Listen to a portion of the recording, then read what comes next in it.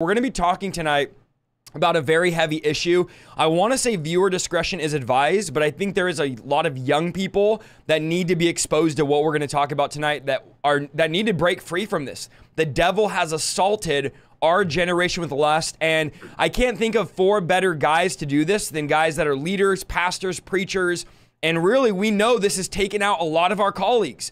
This has taken out a lot of other ministers. We all know guys that at one point we're doing exactly what we're doing. We're preaching the word of God. We're bold for God. We're preaching against the spirit and have been taken down by this spirit. The devil has assassinated them through the spirit of Jezebel, the spirit of perversion, the spirit of lust, and just the natural proclivities of the flesh. And so we want to discuss some of these things. Guys, we're going to try to do this in a conversational format. There is a delay on Discord, so it's kind of hard for us to have conversation when there is a pretty big delay, but we're going to do the best that we could. I kind of want to intro this thing off on why this is such a major issue, not just for unbelievers, but mm-hmm. many of you in the chat, there's 3,000 on right now with all of our pages. There's many people listening right now, not just males, but females that are dealing with lust. And I believe tonight by the power of the Holy Spirit, by the anointing of God. I just want to prophesy there's going to be freedom from every unclean spirit of lust. Every person that's dealing with the battle of their flesh tonight, we are going to tell our flesh to shut up. We are going to crucify our flesh. In mm-hmm. Jesus' name, we're going to equip you guys with scripture to overcome the flesh, and there's going to be freedom. I was, I'm just going to start with my own story, addicted to pornography from the ages of 12 to 19. And I'm telling you, if God can deliver me, I do believe God can deliver you. This is a major battle. It's something that many pastors and leaders don't want to talk about, but we need to talk about this. We need to target this. And I believe tonight many of you are going to get free. And I just want to put my first scripture uh, to show you guys the seriousness of the sin. 1 Corinthians chapter 6 verse 9 says, "Do you not know that the unrighteous will not inherit the kingdom of God? Do not be deceived, neither the sexually immoral will not inherit the kingdom of God." How serious is this tonight? It's so serious that Paul says those that are sexually immoral will not inherit the kingdom of God. And so mm-hmm. I want to start out very strong by saying, Your eternity is at stake, beloved.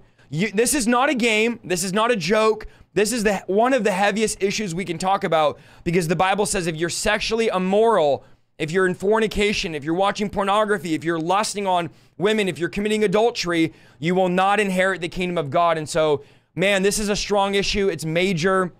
I think, guys, tonight is so powerful that we talk about it. I was freed from this. God delivered me from me. This is just my personal story. You guys can call me what you want in the comments or make Heresy Hunter videos about me. I actually got delivered several days after being saved, filled with the Holy Spirit, speaking in tongues. Mm. My life was changed radically. I was undeniably saved.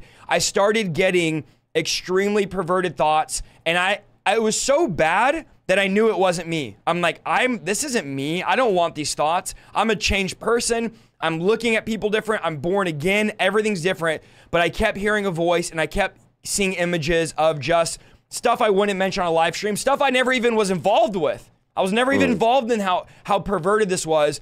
And then I realized, no, this is a demonic spirit in me.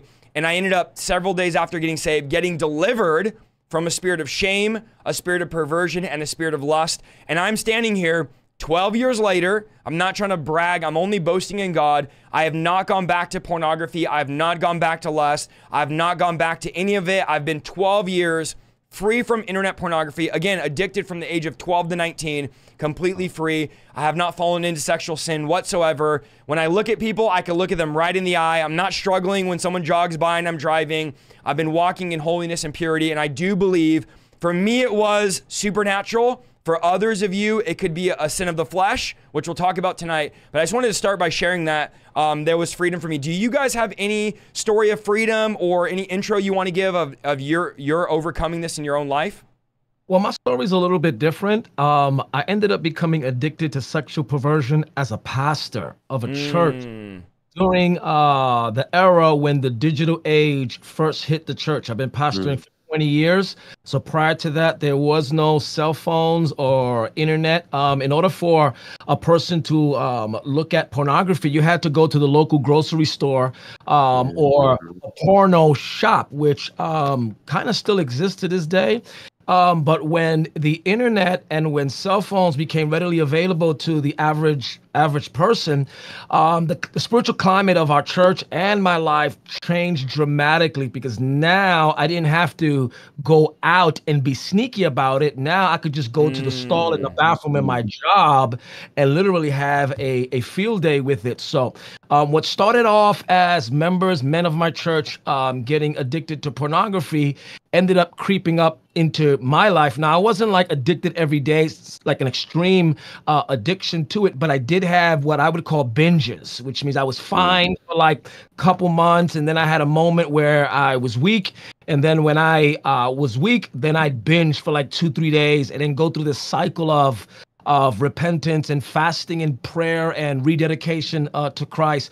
It wasn't until I embraced uh, the ministry of deliverance. Come on. I got absolutely radically set free, and I've been mm. free since. And I could say the same thing like you, Isaiah. And I know that when we say things like that, people think you're being prideful or boastful.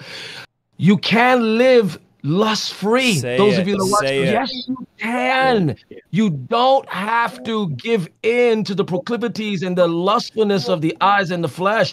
There is a moment where you can walk in such a connection with the Word of God, submission to the Word of God, and to the Holy Spirit that you don't have to be consistently always saying, Lord, control my mind, Lord, control my thoughts, control my eyes. Mm-hmm. You can be consistently saturated with um, being God conscious or practicing the presence of God. So when I got set free through the ministry of deliverance, then that's around the time where I, I dedicated my life to not just preach the gospel, but secondarily teach the ministry of deliverance to help set the mm. captives free. And we that's one demon that I can say if you're watching, you can get set free from Come sexual on. perversion.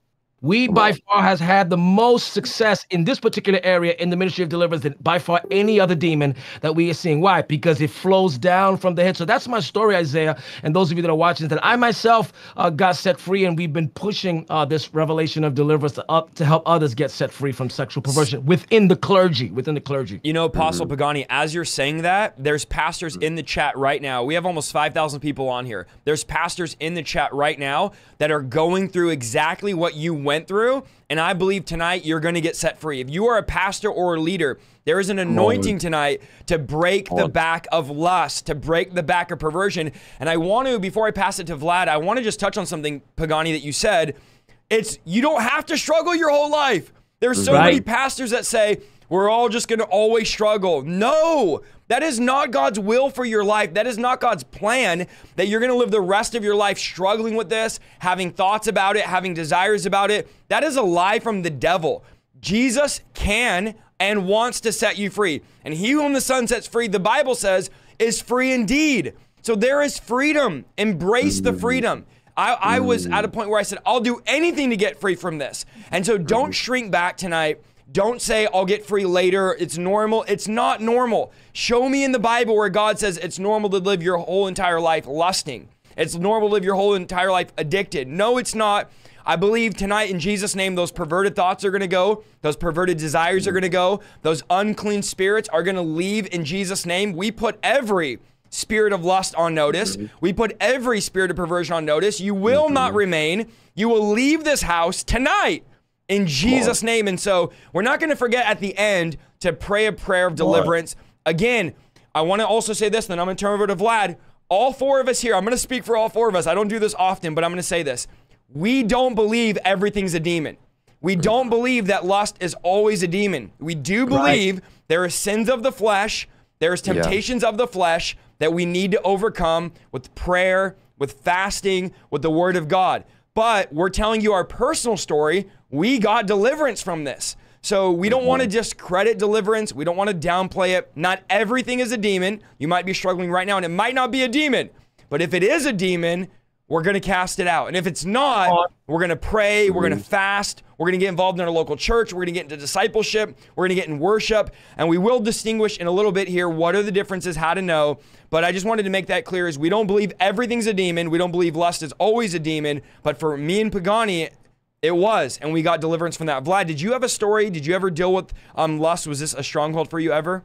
Yeah, so same. Uh, I would relate with the same uh, story that uh, Apostle Pagani shared and uh, Isaiah you shared.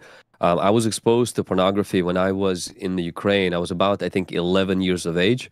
Uh, that was the first time somebody brought some black and white uh, paper um, with women not having clothes. And honestly, it didn't hit me until later. And I just brought it home. I was hiding between my books so my parents will never see it. And then, of course, I burned it because I was like, I, I was afraid of getting caught. But we didn't have any access to television even in Ukraine because my parents kind of were protecting the family from the influences of the world. So we come to the United States. I'm 13 and 13 years of age. And then 13 and a half, um, I'm babysitting like seven cats of my neighbor. The guy had like more cats than, uh, I mean, it was a lot of cats. We just were here and in the United States, and he lets us babysit them for seven days. And this is where it happened for me, is that um, I stumbled upon the VHS tapes. It was not even mine; it was in his house, and and I remember like something entered me. Mm. But at that time, I didn't connect that to being a demon. I just thought that like these cravings of my flesh woke up and so, of course, you know, with it came shame. I said, I will never do it again. I felt dirty, guilty. I repented that night only to do it again the next day because the owner didn't come back and I had seven cats to feed and he had more VHS tapes. And the next day I did it again. And, you know, again, shame, repentance, da da da da. And then the next day I did it again. And then I was looking, my only hope was now that the owner will come and take away the keys because I lost control. Mm. You know, and I mm. couldn't connect that. I mean, I was 13 years of age. I wasn't exposed to the ministry of deliverance. That one of the signs that you have an unclean spirit controlling you is that you no longer can control yourself. And so of course i applied discipline after that i decided no more i think i went for like three months and then it would find me and like pagani shared like i couldn't find it because in order to go to the store, I didn't even have a license at the time. We had no internet in the house. We had no magazines in the house. It would find me in school. Mm. It would find me in a Christian bookstore, in a Christian bookshelf. Yeah. I remember I opened a book. It wasn't Christian book, but in a Christian bookshelf, and there was pornography inside. I dropped the book and ran, and I was like, "What's happening to me?" I almost felt like I was a marked man. And this was the time I was already preaching at the church as a young teenager. My pastor was kind of entrusting me to to minister as, as a young guy, raising me up, and and I've done kind of the discipline part, fasting every week, then every month, three days, and disciplining myself. Renounce. I didn't do the renouncing part, just more repentance, shame, repentance, and the whole cycle. Until it was actually Jack Hayford's book about something about sexuality, where mm. he shared a story of one of the pastors who had a similar problem that reoccurred years later. And Jack Hayford, through the word of knowledge, leads the pastor that there's an open door and the demons still have access and he needs to get delivered. And it's like a light went on in my mind. Oh wow. my goodness. This little Christian boy might have a demon problem. Because, see, in my mind, demon problem people were those people. It just mm. can't be mm. me. And my issue was uh, justified, domesticated. I rationalized it. I was like, no, I just need to try harder. And so um, the light went on, and I remember I went for actually for a seven day water fast, but this time it was not fasting to defeat the flesh. I went to war because I Come went to my pastor, he prayed for me. And so it was like the whole seven days, it was just renouncing anything I could think of. The Lord was highlighting different things. And now I didn't necessarily yell, scream, vomit, but I did feel during that time, something just left me. The same way that I felt something enter me, I felt something like just just exited me. And um, I thought maybe it was just like the fasting, but the change that happened is right after that, the temptations will be there, but it's almost like I had control back. I was in control, not the lust or the flesh was in control. And I was able to walk away and and live in that freedom. And so, and I've been living in that freedom since, and it's been an incredible journey. And so then seeing that, and it's interesting, Pagani mentioned that when we took our team to Africa to the ministry of one minister who practices deliverance, one of the first things that happened with almost half of my team is they all start getting delivered from the spirit of lust. And now mm. this team is our pastoral team who are walking in that freedom, bringing deliverance to others. So I can testify that yes, it's a flesh issue that we need to crucify, but also if we give it enough foothold, especially if there are generational curses or traumas, for some people it's no longer just the flesh. Give flesh enough space and enough time, feed it enough, and it will gain a foothold for a demon to come in and now begin to control your life. And without deliverance, you will not be able to overcome that flesh. That's so good. And I think what people don't realize, Vlad, is that the flesh and demons work together. The demons entice your flesh. They throw gas on your Yeah. flesh, and these things are working together. They're not separate from each other, but they actually work together. Once you remove that demon, I love what you said. You're able to get that flesh under subjection, under control, and get it crucified. So you're not living your life constantly struggling like there's something wanting to do this when you don't want to do it. Mike, do you have any story of freedom? I'm gonna, I'm gonna just, just yeah, uh, jump on that. What you just said. Somebody said that flesh is a traitor within, who is in a relationship with the demons without. Mm. Though flesh is not a demon, but if the moment you give it too much foothold, it right away makes a place for a demon. It calls them at your weakest moment, and then, like you said, it opens the door to those demons. That's a good. That's a good word. It's so good.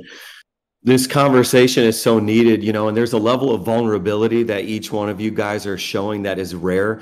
And that in and of itself is healing to many people Mm. watching right now because you don't hear pastors talk this with this level of transparency. Matter of fact, the only time a lead pastor gets this vulnerable is after they get caught Come and on. and all the details come out. So this has been very refreshing. I I can't say names, but guys, I've told some of the most prominent pastors in America that they needed deliverance. They told me it was only a flesh problem, and unfortunately, their entire ministry doesn't exist anymore. And some of them, it was worse than that. So, you know, I think it's easy to laugh at, you know, oh, it, they these guys think it's a demon. Oh, it's easy to give the blame to the demon. It's like, no, listen, like if you're opening up the door through carnality. And we've said this many many times. Right now i'm in london and the front door of this flat's open. If i leave it open long enough it, it something's going to enter it might not happen instantaneously but it will happen Wow. over time. I'm gonna i'm gonna take it a different angle though. So 15 years ago many of you guys know that i had incrementally slipped into alcoholism.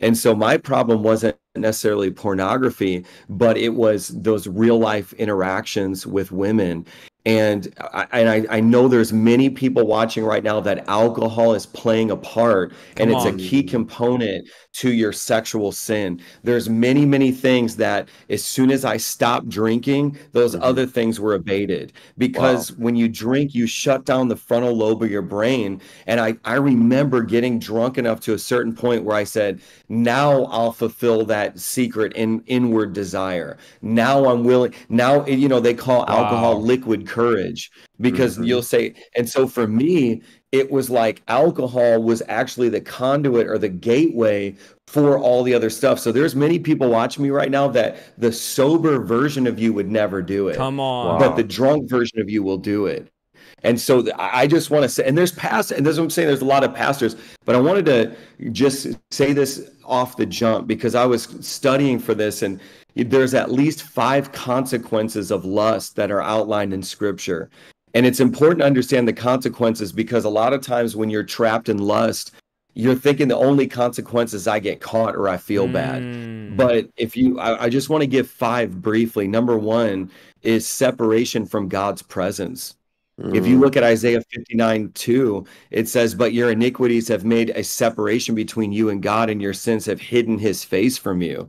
Uh, number two is guilt and shame. And there's just a layer of guilt and shame that you live with. If you look at Genesis chapter 3, verse 8, it's like they heard the sound of God walking in the garden and they they hid themselves. And so so many of you are living with that constant guilt and shame. Number 3 is actual broken relationships. Lust can produce broken relationships. I was looking at Matthew 15, 19. It says, For out of the heart come evil thoughts, murder, adultery, sexual immorality, theft, false witness, and slander. So when you see lustful behavior, you also see it damages relationships in every direction. Number four is a loss of spiritual and emotional fulfillment. So when you're trapped in lust, one of the consequences is you will feel a loss of spiritual and emotional fulfillment. That's Hosea chapter 2 verse 8 it says for she does not know that it was i who gave her grain the wine and the oil and who lavished on her silver and gold which they used for baal Mm. and so the scripture is basically saying that there they there couldn't even be satisfaction in the good things that God gave because there was a, a, lustful desire that was being fulfilled. And then the last one is lust impairs your judgment and your wisdom. That's the consequence of it. Uh, Proverbs chapter 5, verse 3 and 4 says, For the lips of a forbidden woman drip honey, and her speech is smoother than oil, but in the end she's bitter as wormwood, sharp as a two edged sword. And so lust will literally rob you of your decision making, and you will become unwise. So for those of you who are like, What's the big deal? You know, I'm just going to keep doing it. I just gave you five, at least five biblical consequences to let the gravity of this broadcast really settle on you. Mm-hmm. It, you know, it should, it should man, tonight's going to be the last night. Today's going to be the Come last on. day I ever deal with this. Mm. Yeah, and I want to get to that point of breaking the sin cycle. I want to give you guys a few statistics. 40 these are these are a little bit dated so it's worse than this, but they say 40 million Americans are are regularly visiting porn sites. 35% of every download online. Listen to this. 35% of every download online is internet pornography. One out of every one in five mobile search. So when you're searching on your phone on Google is related to pornography. Pornography is now over a $100 billion industry. That's more than the NFL, the NBA, the MLB, and the NHL combined. Over 40 million, oh, I said that 40 million, 28,000 users are watching every second. 70 plus percent of teenagers hide their behavior from their parents, their online behavior. 70% of men 18 to 24 watch pornography at least once a month. And Sunday is the most popular day of the week to watch internet pornography. Guys, this is a pandemic. This is an epidemic happening right now that is robbing destinies, that is dragging people to hell, that is not a light issue. And one thing I wanted to touch on that you guys mentioned earlier is here's the reason. Oh, wrong camera. Here's the reason. This is the gateway to hell right here. This is the vehicle that the devil's driving. And the devil used to have a 30 horsepower, you know, uh, station wagon. Now he has a thousand horsepower Tesla as his vehicle yeah. to release pornography on a generation. Literally, the devil's releasing releasing these spirits, releasing pornography on an entire generation. I in some of our services, it blows my mind that there is five year olds, six year olds, seven year olds, yeah. eight year olds coming up saying, I need prayer. Oh, what do you need prayer for? These are little children. What do you need prayer for? Oh, I'm watching pornography on my iPad. I had a little boy that was seven years old come up asking for prayer with his parents, and I'm like, What do you need prayer for? And he said, I'm seven years old. I'm watching pornography every morning for multiple hours on my iPad before my parents get up for work. I watch it at night. Seven year old. These are children that are being addict that are now addicted, as as you were saying, Pagani and Vlad we had to get magazines. When I was young, we didn't have the internet like that. We didn't have smartphones. There was no such thing. I had a magazine at a neighbor's house I had to go find and look at. And now an entire generation is on TikTok, and TikTok is full of soft pornography. And some of it's not even soft. You know, a lot yeah. of these videos before they're banned are straight pornography. And you have parents, and there's 6,000 of you watching. Your children, I'm just going to say it bold, should not be on TikTok. Your children mm-hmm. should not be scrolling on YouTube. What are you guys doing out here? Letting your kids on Reddit, on TikTok, on the Instagram Explore page. The devil is literally l- launching all out assault. And one of the lies he gives is this you struggle for three months and then you get free for three months. You struggle for two weeks and then you're free for two weeks. And the devil, all he's doing is lengthening your chain. You're still in bondage. Yeah. It's just a month goes by, three months go by. Guys, if your six months go by and then you fall again, your chain is just longer. You're not free. Tonight, God wants to set you free. Complete freedom. Never going back. Never doing it again. And one of the responsibilities as parents we have to take is we're not being good guards. We're not guarding our household properly. Come on, men in the chat. Where mm-hmm. are you guys? Why are you not worried about what your kids are watching, what your kids are listening to. I'm constantly checking any of my kids' devices, monitoring what they're doing. And if you turn a blind eye, you will allow Jezebel in your home. You'll allow the spirit in your home. And some of you in the yeah. chat are saying, why don't pastors preach on this? Because they're watching it, they're doing it. They're involved in it. So why would the pastor preach on it and expose themselves? So this is a major issue. It's the accessibility. It's a hidden battle. It's this lengthening chain. Why do you guys think right now, like never before, any other thoughts about this uh, assault on our generation? You know, Revelation chapter one, um, and two and three talks about the seven church ages, and we know that those two chapters are dedicated to uh, specific churches and pastors and churches. But um, I think it it can also relate to homes as well. Uh, the church of Ephesus says the Lord Jesus was praising them and said, You guys are good at rebuking what's evil. You guys are good at finding what's wicked. You guys are good at finding what's false. But I have an issue with you. You still allow that Jezebel to Come on. teach. Yeah. You still, you still. So we're great at guarding our children from false doctrine. We're great at uh, guarding them from the cares of this world. But then again, um, we find that Jezebel is uh, teaching through their phones, through their video games, through their peers, through the people that word. we don't really guard who they're connected to. Um, so yeah, I think at this, at this point we have to uh, be mindful um, that uh, we have to be a little bit more vigilant. We have to be a little bit more vigilant, regardless. And let me just say this to every parent. Um, regardless of their complaints, you're still their parent and it's still your house. Come on. You know, Mhm. fight against it. Fight against it, regardless of the complaints. Complaining now, they'll love you later. They'll praise you later that you guarded them Come from that. I want to So just take a moment and define a little bit of why lust is wrong. Uh, biblically, like we already have heard, that it's it's a sin. I think it was C.S. Lewis that shared an example, and he said that if you put dirt in your um, flower pot, then it becomes soil. You take this soil from the flower pot and you put it into your salad, it becomes dirt. The same type of uh, material in a different content, in a different context, what begins to happen is it becomes dirty.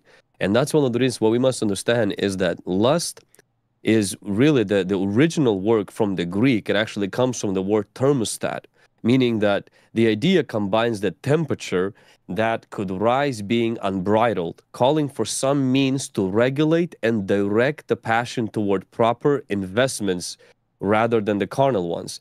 Lust is not a result of overactive sex drive. It's not a biological phenomenon. Otherwise, a sexual experience will satisfy that. Like a glass of water quenches the thirst, and a good meal, you know, it satisfies your appetite. Lust, when it comes to love, lust to the gift of sex and to the gift of love is like cancer to the normal cell.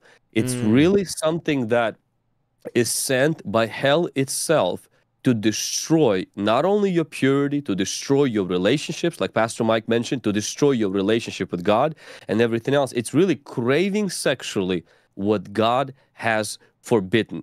Lust goes beyond the attraction, appreciation of beauty, and healthy, even desire for sex. It makes something that these desires are more important than God, and it goes outside of God's guidelines to find this satisfaction. The story that I'm kind of reminded of Samson when they wanted to take Samson out, and one of the ways they wanted to take Samson out is through Delilah. And the Bible says when Delilah was putting him to sleep, trying to find that secret, the Philistines were hiding behind the couch or somewhere in the other room where they were pretty much in that in that house paying her because she was sponsored by these Philistines to try to take his eyes, take his anointing and his ministry and pretty much cause a public scandal and his public defeat. And I really believe that Delilah is that lust. It's that pornography. It's sponsored by the devil himself. The, it's on the Come on. payroll of every demon, every agenda of hell. Yeah. But its ultimate goal, because lust is not as old as TikTok. Lust is as, as old as this world, as Mm. as a human race. It's, it happened to Samson, and there was no phones, and there was no TikTok, and there was none of those things. And he fell for it. He lost his eyes, he lost his freedom, and he lost his ministry. And I think for those of us who are watching right now, and those of you who are watching right now, and maybe you feel under attack and you get you feel like the enemy has taken that purity and you lost that purity and you you lost that vision. The enemy is after you. He wants to take your vision. He wants to take your ministry. He wants to publicly scandalize your life and end your relationships and he uses that. There, his he has one person that's going to be on his payroll and that's going to be delilah. And that delilah is lust. That delilah is pornography. So i do believe that it's a demonic agenda to tries to use tries to use our flesh but at the same time to really destroy our ministries destroy our potential and to destroy our future calling That's so good. Mike, you have anything you want to throw in with that?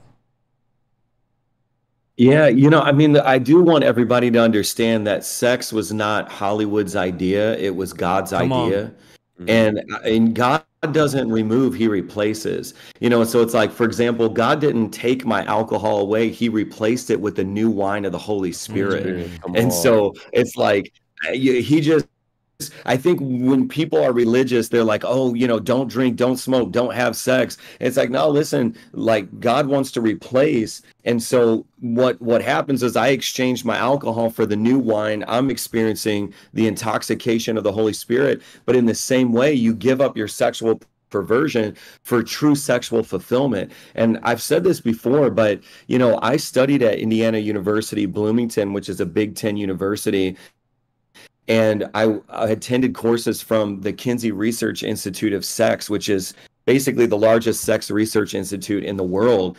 And I remember being a full-blown atheist in one of these classes. This is Mm. obviously 20, 20 something years ago.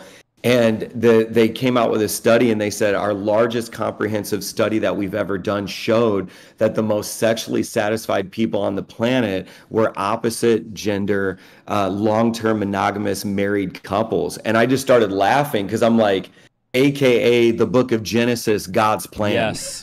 Mm, mm. So, so this is like, you know, we have this whole agenda right now. Everybody's Yeah. trying to say this is this is how you can be satisfied.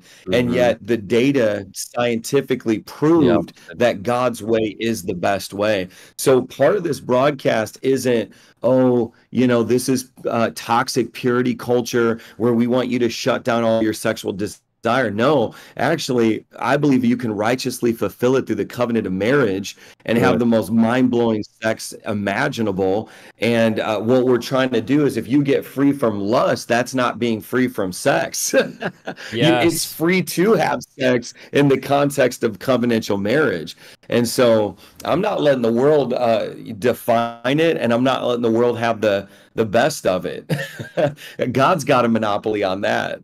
That's Can so I get good. an amen in the chat? Amen. Amen, brother. I, I, you know, perversion at its root is the wrong version of something, and that's what the world Yeah. does. Is it perverts everything God has done? It gives you the wrong version. And guys, here's how crazy it is. Your body knows that it's wrong. You have secular people Come doing on. this whole thing of no more masturbation, no more porn, and secular atheists say, I feel terrible after I masturbate. I feel terrible after I watch porn. I remember before I was saved, every time I would masturbate or watch porn, I'd feel gross. And I'm like, why do I feel gross and filthy? My body knew this was wrong. This was not mm-hmm. right. So, how are we going to let atheists and secular influencers be like, oh, we're doing NoFap, we're doing no masturbation month, we're doing no porn. And then we have Christians over here like, uh, it's not a huge deal. It's a massive deal. It's a massive deal. It is perversion and it leads to other things that are even worse than just the natural desires. Uh, this is one of the best descriptions I found in scripture and solomon gives it in ecclesiastes 7.26 we can't talk about lust without mentioning this verse this is what solomon Yeah. who's the wisest person in the old testament obviously jesus is the wisest person in the bible in the old testament he says this i discovered that a seductive woman is a trap more bitter than death one translation says a woman that's seductive is worse than death and then he says this her passion is a snare and her soft hands are chains this is what this is the key those who are pleasing to God will escape her, but sinners will be caught in her snare. So he describes this lust, this woman, as a trap that he's unable to escape from. This is how some of you feel tonight. You feel exactly what Solomon's describing. Isaiah, I'm stuck in a trap. I can't get out like a bear that has his paw stuck in a bear trap. There's no way out, and I'm just gonna have to sit here until I die. And really, that's what lust does.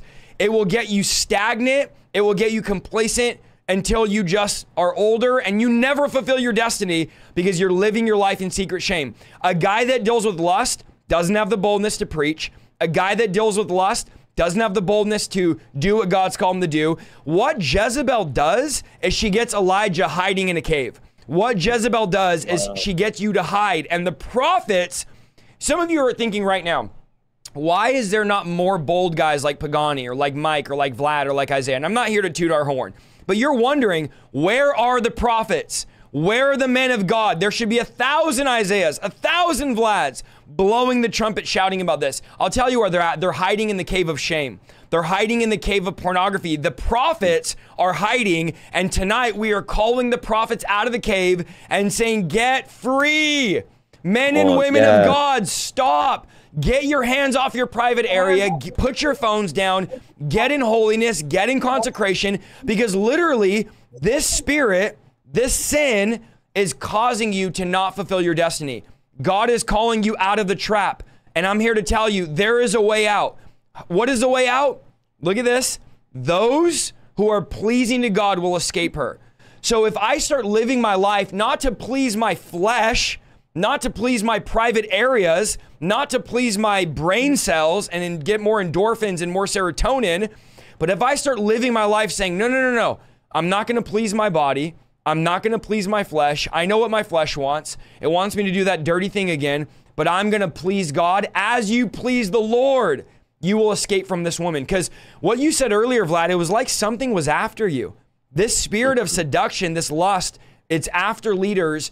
Massive issue right now. So many leaders, what 90 plus percent would you guys say of ministers and pastors are falling to Jezebel? Yeah. And as you quoted earlier, Pagani in Revelation 2:18, God says, "Don't tolerate this."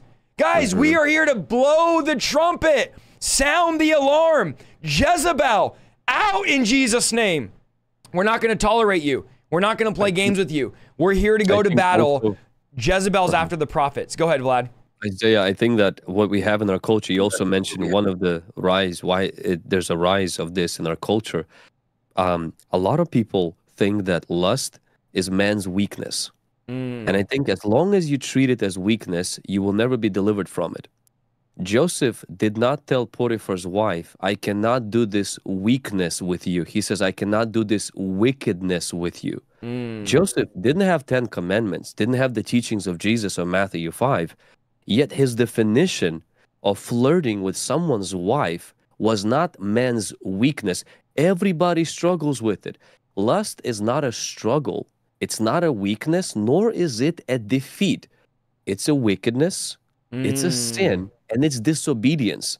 As long as we're misdiagnosing it, and that happens a lot of times from the pulpit, especially with an advancement of greasy grace, where everything is allowed. You pretty much you're saved. It doesn't matter what Come you do. You can never lose your salvation. You're just simply you you're a work in progress. Work in progress is it's not when you're engaging in pornography and you're sleeping with your girlfriend. That that that is not sanctification. That is Come on. sin. That's living, indulging in sin. Mm-hmm. And I think with me, what started to happen at the young age, partially is because I grew up in a church where we were taught the fear of God. Today, we are not taught the fear of God. Today, we're taught that God is my friend. Today, we're taught that Come Daddy on. God is my buddy I take to McDonald's with and I chit chat with the Holy Ghost. And we're so cool, we're so familiar with God. And we replace the reverence for God for a relationship with God, fear of God for being familiar with God. And the Bible says only the fear of God causes us to run from sin. So we don't have to run from sin. We can run with sin as long as we confessed with our mouth, prayed a prayer that we're going to heaven. And so many people don't feel like they need to repent. They need to live a holy life because of this misdiagnosis that lust is just. Uh, I remember when I was in the youth ministry for 14 years, and I had a lot of guys would come to me and they would say this, um, I'm, I'm, I'm pray for me. I have this weakness. I said, weakness is if you cannot lift 300 pounds. Mm. Weakness is if you have a hard time maybe with math. Weakness is not if you're masturbating. That's Come not on, weakness. Vlad. Or people would come and say, "Hey, I'm pastor, pray for me. I'm just I'm getting defeated in this area." I'm like, "In which area? In your science homework or in your math homework?" No, in pornography. That's not defeat. Imagine coming to your pastor and saying, Hey, pastor, pray for me. I'm getting defeated in the area of cursing. You're not being defeated, you're being disobedient. Come and until we diagnose this correctly, that it's disobedience, it's wickedness. This is not to bring guilt. The sin already builds that guilt, but we need to stop being deceived with our sin. And then the fear of God comes in. And the fear of God will cause us what, what happened to Joseph is we begin to flee it. Instead of flirting it because we can't be delivered from something that is not our enemy, something that we don't hate, and something that we keep treating as weakness, my struggle. Everybody struggles with. Did Jesus watch porn? Come Not on, Vlad. Everybody struggles with it. Jesus delivers us and causes us to live holy and righteous. We're not perfect, but we're being perfected and we are being sanctified. So good. The religious people are squirming in the chat right now. Get them. Pagani, what You are your thoughts on what we're talking about? You know, um, I think uh, Vlad coined it so well. You know, um, it. You know, there's this, there's a dichotomy, there's a struggle that's going on uh, with anytime we are trying to implement uh, rules and regulation, it's Mhm. being labeled as legalism Yep. or or or being Right. religious. I, I- I want those of you that are watching that rules are not restrictive; they're protective Mm. When rules are designed to protect us, not restrict us. Um, and I and I and I think we we uh with with, this um postmodern, I call it living room Christianity, where everything is centered around the living room with our father and with our dad, and we kind of like view uh, Christianity from the lens of, you know, uh, uh, more of a family oriented, but they forget that being a Christian is also being part of an army. Come you on. know? Yeah. Yeah. we're part of we're part of an army and the apostle paul said in galatians 5 it says no soldier gets entangled with the affairs of this life Yeah. notice that it uses the word Yep. affair what is lust connected to specifically within the context of marriage when people commit adultery they're having an affair an entanglement and i think when you keep that in mind that not only are he's our father and we're his children but he's also my general and i'm a soldier and i'm Mm, that's good. I'm required to live a, a, a lifestyle that is both res- uh, restrictive and protective. Um, and not only that, but the seriousness of this idea of lust was um, outlined in scripture, where Jesus even said just how serious it is. He said that Mm. if that causes you to sin, Yes. get out. You know, um, now we know he's not telling us gouge out our eyes, but he is telling us just how serious and Yeah. severe he takes this topic of Yeah. lust, not from the lens of relationship, but from the lens of, but from the lens of enlistment. We are Mm. enlisted in an army, not just in relationship in the army.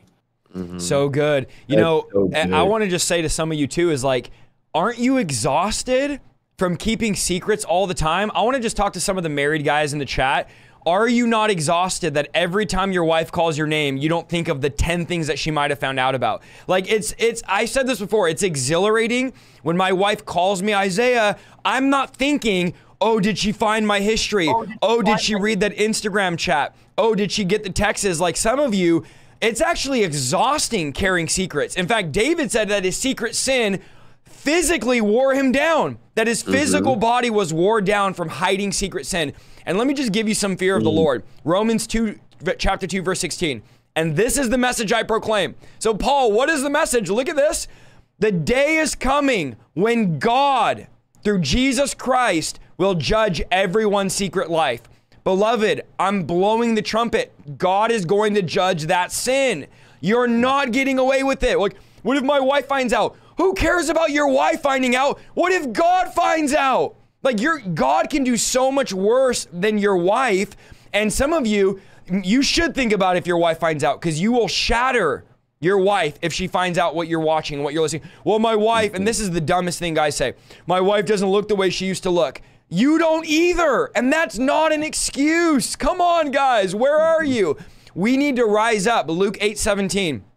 For nothing is hidden that will not become evident. No secret will not be known and come to the light.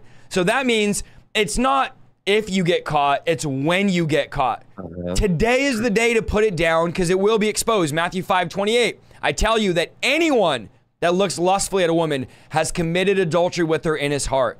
This is very serious. You might have everybody fooled, but you don't have God fooled. Now, we're, again, we're not blaming demons on everything.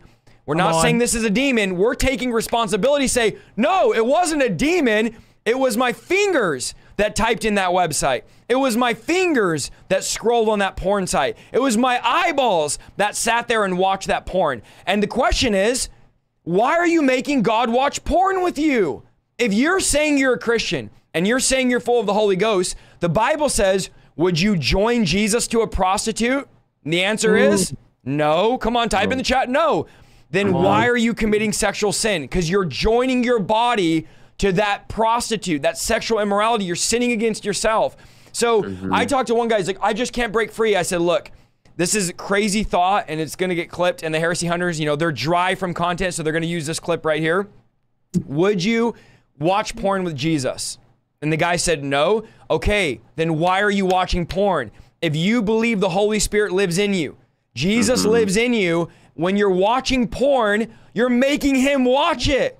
You're connecting him to it. So we need what you said, Vlad, that fear of God to really break free from this and say, the fear of the Lord is going to stop me from getting on that website tonight. The fear of God. I'm yes, I'm worried about my wife or husband finding out, but fear God, Jesus said, who could destroy both body and soul in hell. Like that is so serious to say, no, I'm not going to force Jesus to watch it. And I know some of you are in the chat saying, sorry, Lord. Good. You should be sorry. Yeah. You should repent and feel that holy Come on. conviction and that shame. Yes. I don't know why pastors are out here saying shame is a bad thing. When Adam and Eve sinned, they felt shame because of their nakedness. It was not a bad thing. It was a result of their sin. So, yeah, you should feel shame. Yeah, you should feel guilty. Yeah, you should feel dirty. But God can wash you and God can cleanse you. on. Guys, what are some differences? Now, again, we're not here saying it's all a demon. I want to talk a little bit about the difference is between a spirit of lust, a demon of lust, and the flesh. Because again, we don't want to blame the devil. We want to take responsibility. If it is a demon, we don't even need to blame him because tonight we're kicking him out. So we don't even have to worry about blaming him.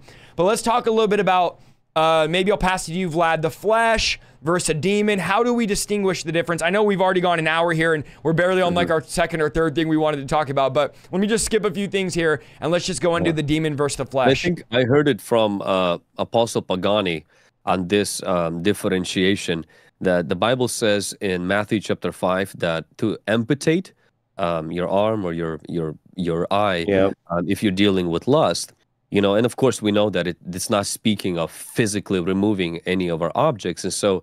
How do you know that if it's just the flesh and you amputate, meaning you remove the trigger points, you set certain boundaries, usually that is subdued because flesh gets Good. crucified. on. And when you crucify it, it's gone.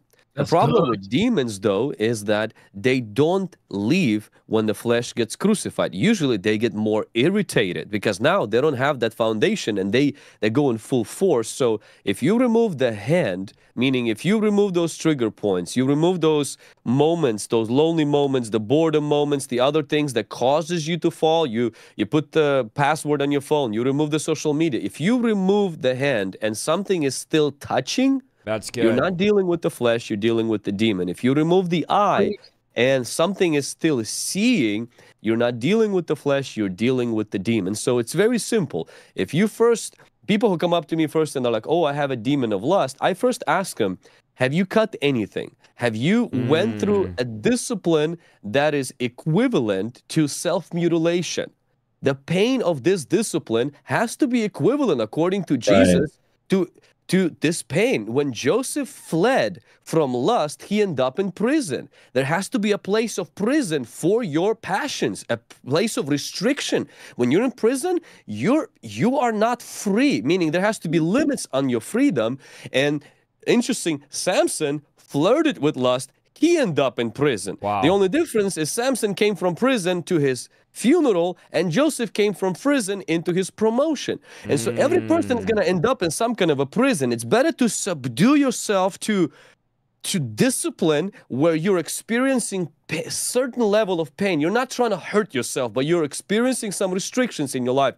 And if you've done that and something still keeps seeing, something still keeps touching, so something still keeps handling, you're most likely dealing with a foreign entity that needs to be dealt with with Oh, deliverance. Good, good. good. I want to do, if you guys don't mind, quickly just go over for those that are confused of what is the flesh, because I'm seeing some people in the chat are like, I don't really understand what is the flesh. If you guys don't mind, give me two minutes here. Romans 7 18 actually tells us what the flesh is. And this is what Paul says For I know that good itself does not dwell in me, that is in my sinful nature. For I desire to do what is good, but I cannot carry it out. I do I do not want to do I do not do the good I want to do, but I do the evil I don't want to do. This is what I keep doing. So the flesh in the Bible refers to the fallen human nature characterized by sinful tendencies and sinful desires. What Paul is describing here, Paul is saying this in a nutshell. Sounds kind of confusing. There's something in my human nature that I don't want. It keeps dragging me and telling me and giving me desires. And this is natural tendency. This is the fallen nature, the part that craves sin. This is the enemy to God. This is what the Bible says entices you and drags you away. That is the Bible describing the constant war between the flesh and the spirit. Very simple right here. Whatever you feed more will win. If you're in the chat and you're confused about why, I just never want to pray. I just never want to read. I just never want to do anything godly. It's very simple. You feed your flesh more than your spirit. If you're feeding your flesh TikTok eight hours a day, it's no wonder you pray only eight minutes a day. If you're watching mm. Netflix six hours a day, feeding your flesh, then your flesh becomes stronger than your spirit. If you're watching pornography and you're in the secret place of porn, but not the secret place of prayer, then now your flesh is stronger. So the Bible says this Galatians 5:19. These are the works of the flesh. The acts of the flesh are obvious. So what are the, what does the flesh want to do? Sexual immorality. This is Galatians 5:19. Impurity, debauchery, idolatry, witchcraft, hatred, discord, jealousy, fits of anger and rage, selfish ambition. I'm describing some of you right here. You're like, that's I'm everything of those. Dissension, factions, envy, drunkenness, orgies, and things like this. So the flesh is those things. But here's the good news. Here's the good news tonight. We can overcome the flesh. Romans yes. 6 6 says this For we know that our old self, our flesh, was crucified with him, so that the body that was ruled by sin might be done away with. That we should, look at this, no longer be slaves to sin, because oh. anyone who has died has been set free from sin or the power of the flesh. So the bad news is we're all we all have flesh. The good news is Romans 6 6, the flesh is on the cross with Christ. I've been crucified with Christ. I've put away the flesh. I've done away with the sinful desires. It is no longer I that live, but Christ that lives in me. There is freedom from mm-hmm. the desires of the flesh. So a demon, we can get that cast out, and the flesh, we can pin him up to the cross we can stop feeding them, stop making them comfortable, and get set free. Your flesh is not, guys, your flesh is not this. Your skin, your bones are not your flesh. The flesh is the human fallen nature we all have that through Jesus we can crucify. So please stop with the excuses in the chat. There's no excuse. We can pin that flesh to the cross. Don't let a pastor lie to you. There is freedom. I love what you said there, Vlad. If you've removed the eye, you remove the arm, you remove the foot, but you still desire. Pagani, give us a little bit about the demon side, the demon of lust. You've you've been seeing a lot of people set free from this. What are some distinguishes from the flesh versus a demon? Well, I think uh, you guys defined it uh, pretty thorough. But what I have been mm-hmm. noticing is is that um, as uh, we've been uh, traveling the country, uh, conducting deliverance, um, even on the clergy and pastors and leaders, um, I'm finding an immediate manifestation as soon as we target a sexual perversion, uh, yes. lust, um, incubus, succubus, um, and some of the more uh, demons that are connected under the category of of sexual or sexual uh, perversion, you know. Um, and um, I think it's I think it's telling. I think it's telling uh, that this particular um, sin or demonic onslaught is strategic. I think it's strategic. Um, mm. I think uh, it's uh, a lot more at the forefront than many uh, pastors and leaders uh, thinking, you know, and I think the Apostle Paul, uh, or rather the Apostle John, let us know this um, in First John, I believe it's chapter two, uh, when he talks about the struggle that the Christian have. He used it in three forms. And two of those, at least two thirds of those three, are are dealing with lust. He said the lust of the flesh, the lust of the eyes, and the pride of life. So we at least see two thirds of that. And I think uh, that pastors and Christians, if they uh, get uh, sloppy, they get slothful and sloppy with it, I find that um, it becomes a, a haven for the demonic to increase even after they've received deliverance. I, mm. I think if there's one thing that we need to guard even after we go through uh, deliverance sessions, it will probably be uh, probably be lust. So there, yeah, so there is an, uh, a complete uh, new initiative that I think um, that is resurfacing. So I want to challenge all the deliverance ministers that are out there uh, that God has truly sanctioned you, you know, to uh, conduct the ministry of deliverance. We might need to return back um, um, and really focus on uh, lust again, and you're gonna find that um, that sexual perversion and the demonic is rearing its ugly its ugly head again. That's good, mm. Mike. You have any thoughts on the flesh and the demon topic? Yeah, absolutely. I mean, this is something that I've been dealing with for a long time because I have a leadership college where, quite frankly, 100% of the people that come in, we interview them and they report back that they struggle with like some form of lust or perversion. And so, everybody watching right now live who has the, the desire to be in full time ministry, I know to some degree struggles with lust. And this is just a process we've had to take people through of discerning what is the flesh and then discerning is it a demon. So I want to give everybody just seven ways that you can tell the difference. Um, Pagani literally just mentioned First John 2, I think. So if you look at First John 4, it, it talks about God being love. So if God is love and that's the standard, so I want to just give you seven ways you can determine what's the difference between love and lust. So what's what's God personified through the Holy Spirit versus lust? So I'll do it quickly. So number one, love is patient, but lust is instant. So you're mm. dealing with lust when it's instant gratification. Mm-hmm. Uh, love is patient. Think about the process that you go through to meet somebody, then get engaged, yeah. then get married to them. I mean, it's a very long process, but pornography is instant. Number two, wow. uh, love is committed. Love is committed, but lust is convenient. Mm-hmm. So it's like when it, whenever you're in a relationship with someone, you know it's based on lust, not love. Mm-hmm. If it's based on convenience, like mm-hmm. I don't want to have to marry you, I don't want to have to pay bills, I don't want to have to move in together. I just want the convenience of this physical relationship. Number three, love serves, but lust is selfish.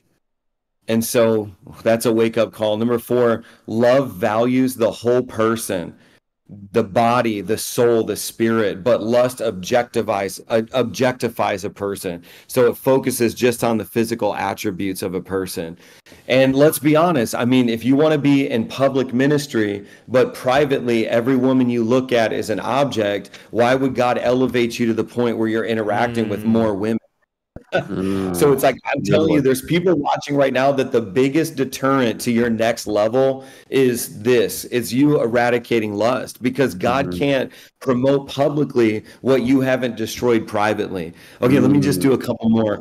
Um, love encourages. This is number five. Love encourages personal growth, but lust compromises your biblical values everybody knows that feeling. There's a lot of women watching right now that you want to be with a guy so badly that you've compromised your biblical values and you're living in that dichotomy. And I've, I've been wanting to say this the entire broadcast, but every single time you make a decision for lust, you shatter a part of yourself, you fragment oh. yourself every single time you masturbate, every single time you go back to porn. And some of you are literally in, in shambles and it's not the trauma that happened through your step parent it's mm. not it's not your narcissistic pastor who abused you actually you have been the worst enemy you've ever had because you've shattered your life through lust repeatedly wow. going back to it so this broadcast is like monumental and i've taken hundreds of people through a personal journey to do this it's very near and dear to my heart um, number six love is honest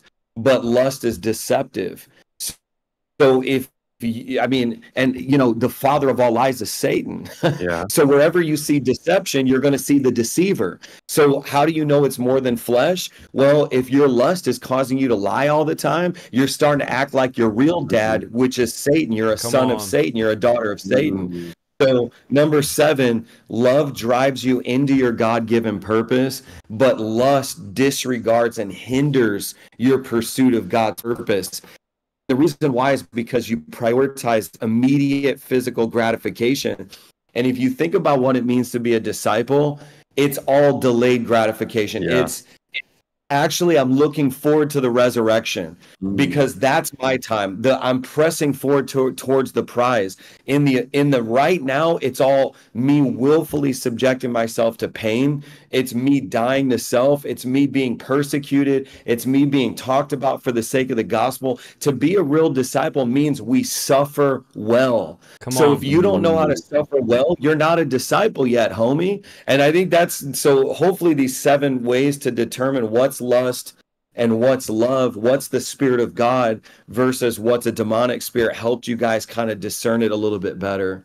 So good. I wanted to add too is that trauma is a major open door. A lot of people that we deal with, and I want to even also say the explosion we see in the how do I say this without getting our video taken down in the alphabet Skittles community. That explosion, I'm telling you guys right now, is linked to pornography, is linked to Yeah. perversion. Because a lot of guys, if you're confused in the chat of why this is happening to you, all of a sudden you're having same sex attraction and you don't know why. Mm. I'm going to tell you why. You're watching pornography, a spirit of perversion's coming into you.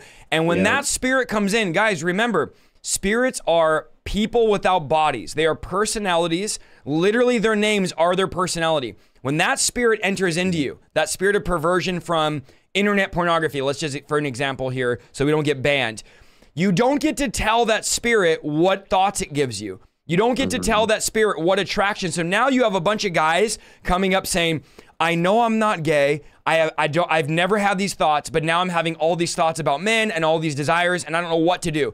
Well, where I don't know where it came from. It came from pornography. It came from Yeah. lust. It came from an open door. So when you look at the graph of and I'm using my words very carefully here, the graph of who now identifies as trans, who now identifies as non binary, whatever. There's 50,000 different things now, right? Whatever you want to label yourself as. And add that to the graph of internet pornography exploding, OnlyFans culture, Patreon culture, everything we can go and do that's a whole nother broadcast. Those graphs match. They match the rise of pornography and lust and shall I say anime pornography, whatever that I forgot what the name of it is, but it's a genre of pornography. And you match that with the alphabet movement. Again, I'm trying to use my words sparingly.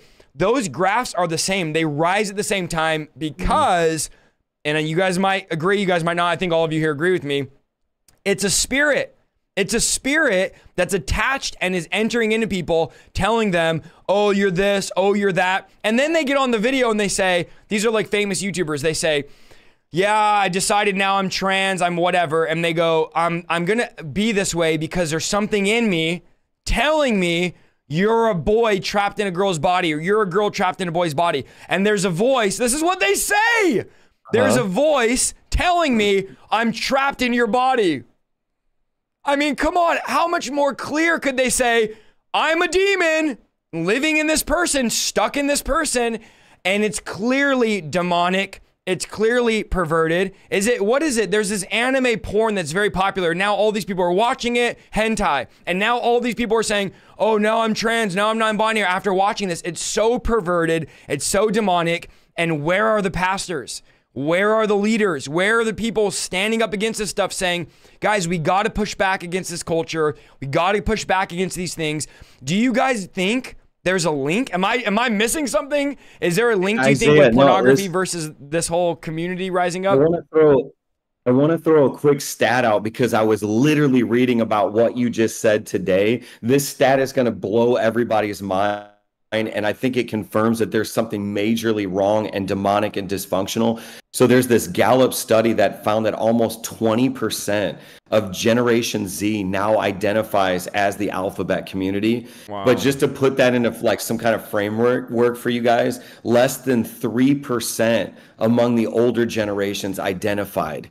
So that's like a 17, that's like a 16 to 17% increase in one generation in people that identify. And that, so that's not biological, Right, like straight Nope. up. I mean, you know what I mean? It Spiritual. doesn't, that is not explainable by a physical, biological. That's sociological, it's psychological, and it's supernatural, it's spiritual. And those are the factors. Like you said, it's the exposure to pornography, it's the, ex- and it's the popularity of it. I mean, it's trendy. Yes. You know, there's a lot of people now that identify with it, and they're, and I've, I've said this too. From a biological standpoint, though, the mechanics of sex are very basic. So just because something is pleasurable does not mean that that's your personality and that's your identity. Mm. Because, you know, and I think what's happening right now is people are engaging in these experiences and it's trendy right now. They're watching things. And I mean, to go from 3% among the older generations that identify in the alphabet community to now t- almost 20% of Gen Z, th- this right now should be like sound the alarm. Like you said, this is the, the real pandemic. This is the thing that we need to be concerned about like never before because, and we, there's a need for deliverance. And while we're talking about this, there are pastors and ministers and Christian influencers watching this broadcast saying everything. Oh, it's not, it's not yep, a demon. Yep, yep, absolutely. Mm-hmm. Ignorant and blind. And another trend I'm seeing is you have a lot of young ladies that God has called to be Esther's, God has called to be Ruth's. And literally in our culture, some of you might be out of touch. Where we're at right now in this culture is young girls are coming out of high school, going to college, and instead of being, oh, I want to be a mom, I want to be this, I want to be a nurse, I want to be a teacher, whatever it is they want to be, now they're going, mm, I could just make an OnlyFans. And I can skip motherhood, getting married, being a nurse, being a school teacher, being whatever, a homemaker, and now I can go directly to OnlyFans and I'll get paid a million dollars a year to show my body. And now we have sex trafficking on OnlyFans, because that's literally what it is, on a mass scale. And it's no wonder these young girls are getting sucked into this because they're saying, well, I could either go do all this hard stuff at college and work, or I could just make an OnlyFans and get millions of dollars, and all these men will pay me to basically. So it's really a new thing happening. It's a new generation rising up. The devil's really taking his gloves off and just went all out, and it's a war like never before. And we need spiritual snipers, warriors that are going to rise up and say, we got to fight against this. We got to talk about this. We have to pray about this, and we have to stop funding this. Guys, let me just say this last thing. I'll turn it over to one of you guys because I talk way too much. Um, period. Okay. When you watch, and it's going to get real right here, internet pornography, when you buy an OnlyFans, you are directly supporting sex trafficking. When you're on these websites, you are funding sex traffickers. You are funding people that are trafficking women. These organizations, you could talk to a guy like Joshua Broome, who's friends of all of us, that was in the sex industry, that was in the adult porn industry.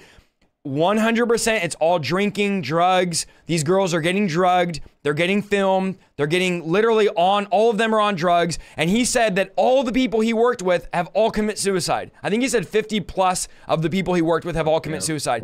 This is modern day sex trafficking. So just so you young men and young ladies decide tonight you're going to watch that, you are giving into sex trafficking. You are funding sex trafficking by doing this. And a lot of these OnlyFans girls say, I don't really want to do this, but I'm forced to do it because it's the only way to do this or the only way to do that or my boyfriend said this or my and then you have guys now these modern day pimps they they call themselves OnlyFans managers we're just exposing the whole industry and now they they have like 30 girls that they that work for them and they're literally pimps and they're trafficking these young 18 year old 19 year old 20 year old girls. And then here you guys are in the chat funding this. It's terrible. When you guys watch that sound of freedom this is all linked together. The money's all linked together and it's an epidemic. Sorry one of you guys tee off here because i'm just and, going. and pornography is what we have to also understand is that we know that there's a demonic part there's a flesh component of it you know uh, but there's also a brain um, issue that happens with it. Pornography is a drug that's worse Yeah. than cocaine and heroin. Because cocaine is a drug that boosts the dopamine in your brain makes you feel high and you want more. And this dopamine is why many you know why many addictive things get released. Heroin relaxes a person and so after people use a lot of these drugs they begin to feel they need more drugs to feel the same effects the challenge with pornography it's actually a mix of both drugs as Mm. co- cocaine it releases this high and the heroin relaxes pornography does both things. It gets person excited, like cocaine, and then it releases tension, like heroin, which makes it very addictive. Online pornography doesn't just give people pleasure, it actually changes the brain so the people need harder and bigger and more porn to feel exactly the same pleasure they felt at first time. Unlike Yeah. alcohol addiction, un- unlike drug addiction, that doesn't actually deal with who you are because drugs are not Wow. part of who you are. Sexual addiction is the is the hardest thing to break because it's actually trying to walk out of something that that is part of you because alcohol is not part of you. Sexuality, sexuality is part of who That's you are. It's connected to your DNA. It's connected to your brain, and so to be able to break that, it requires a lot of deliverance. It requires discipline. Uh, for a lot of people, it requires also inner healing. It requires dealing with some of those traumas or some of those roots of abandonment and other things, and re, re, rewriting the whole um, new habits and, and new lifestyle. And I remember um, dealing with this uh, businessman who very successful businessman and you know he came uh, from a different city and begging uh, for deliverance because he said I, i'm addicted to um, to sex with this particular person and of course it took him through the deliverance but the problem is there was more than it wasn't the deliverance that he needed as much as he needed other things as well and a lot of people of course they don't want to do other stuff like discipline and cutting things away Right. but they just want to go for deliverance because so they don't have to take on the responsibility of crucifying the flesh Mm. And I remember when I came in contact with him and the way he described that, I almost felt like I was listening to a heroin addict. He, he was literally addicted to it. Now, of course, he developed a soul tie with this particular person already. He can't think of anything and he's making millions of dollars and he's an addict. He got trapped. He's like, I never did mm. drugs. I don't do alcohol, none of this stuff. But this thing trapped me. And so, for people who kind of think that this is not a big deal, I'm just going to watch a little bit of porn there and there, your brain is being rewired. Not only your brain is being rewired, you're actually getting hooked on something that's worse than heroin and cocaine put together. Once you go deeper, and the enemy will bring the leash closer and closer to himself, and his goal is to make you completely not functional addict of this thing. And that's why we gotta run from this. We gotta do whatever it takes to wa- find freedom and to walk in purity and to walk in righteousness. So good. I go ahead, Pagani. I know you're gonna say something there. I was just gonna say that I think now would be the perfect time. Um, how we can give them some strategies and some key points on how they could get set free because I'm feeling like, man, there's there's deliverance in the air, and I think people right now realize, yes, that's me. I'm th- I'm I'm that guy that's addicted, you know, and I think might be a nice way to kind of lead into Yes. that. They could get some some Bring some hope, maybe.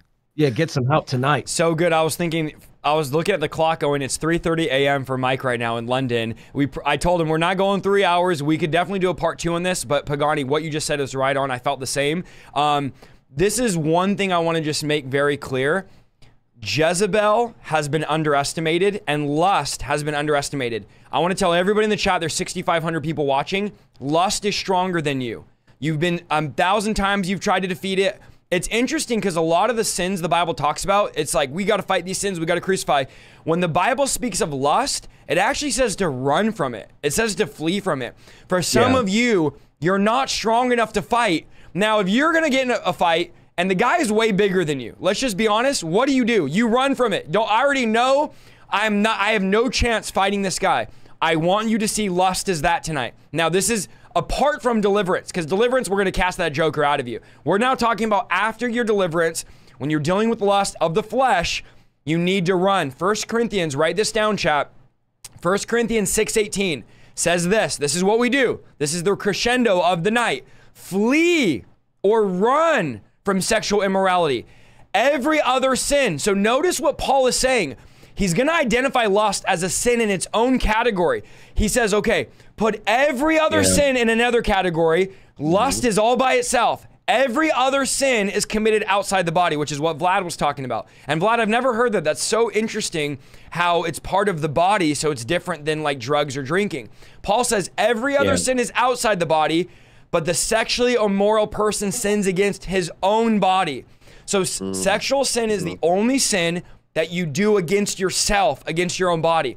So the antidote is to run from it. Now, Jesus also says in Matthew 18 8, if your hand foot causes you to sin, cut it off. If your hand causes you to sin, cut it off. Why? It's better to enter heaven with one hand or one foot than to enter hell with both of them. So, yes, we need to cut those things off.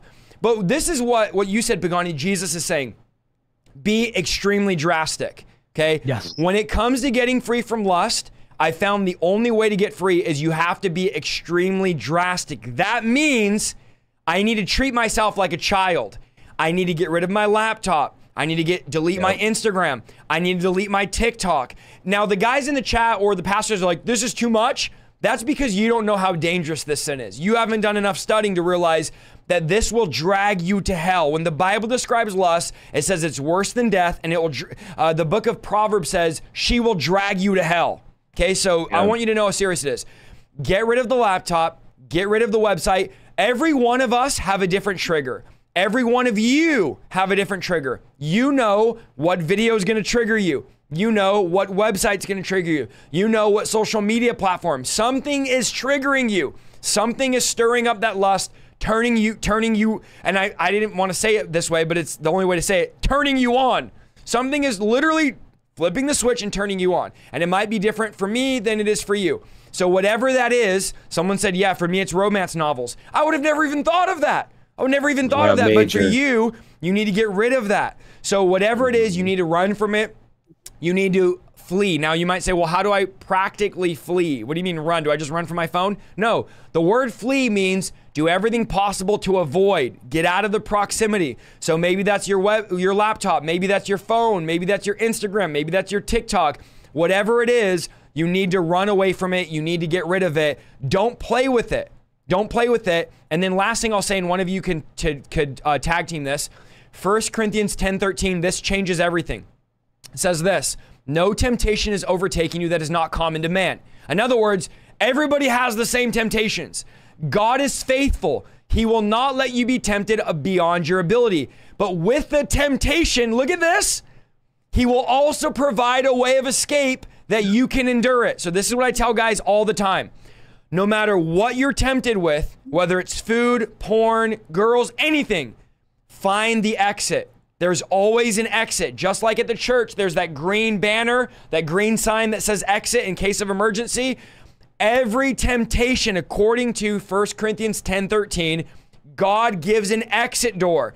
So when you're about to be tempted, when you feel that fire of lust burning in you, when it's 12 at night and you're getting ready to go do that dirty thing, look around and say, Hold on.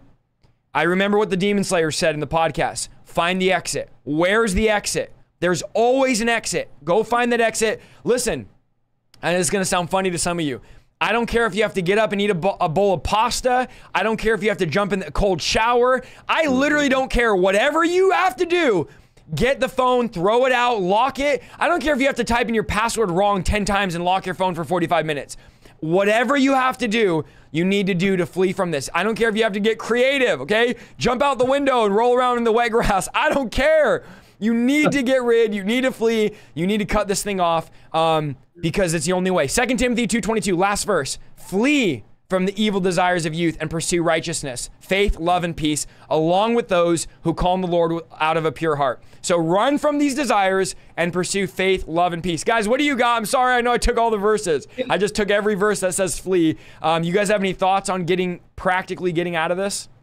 I think Mike has something. I saw you ready to release. Yeah. I, I was gonna say I'd love to give everybody the five ways that I personally overcame lust because I, I sat down for for tonight and I thought, what are the things that I did? What what actually helped me? Because mm. there's so many cliches and there and so I it, you guys already, I've already nailed said all the most of them, cliches. I was- I've already I've given all the Christian No, no, cliches. actually, you, no, you nailed it. It's funny because I'm going to read them right now just because I sat down. I was like, man, I want to help these people because I know they're desperate. I mean, there's nothing more defeating than relapsing back into lust and that Yes. feeling of how low.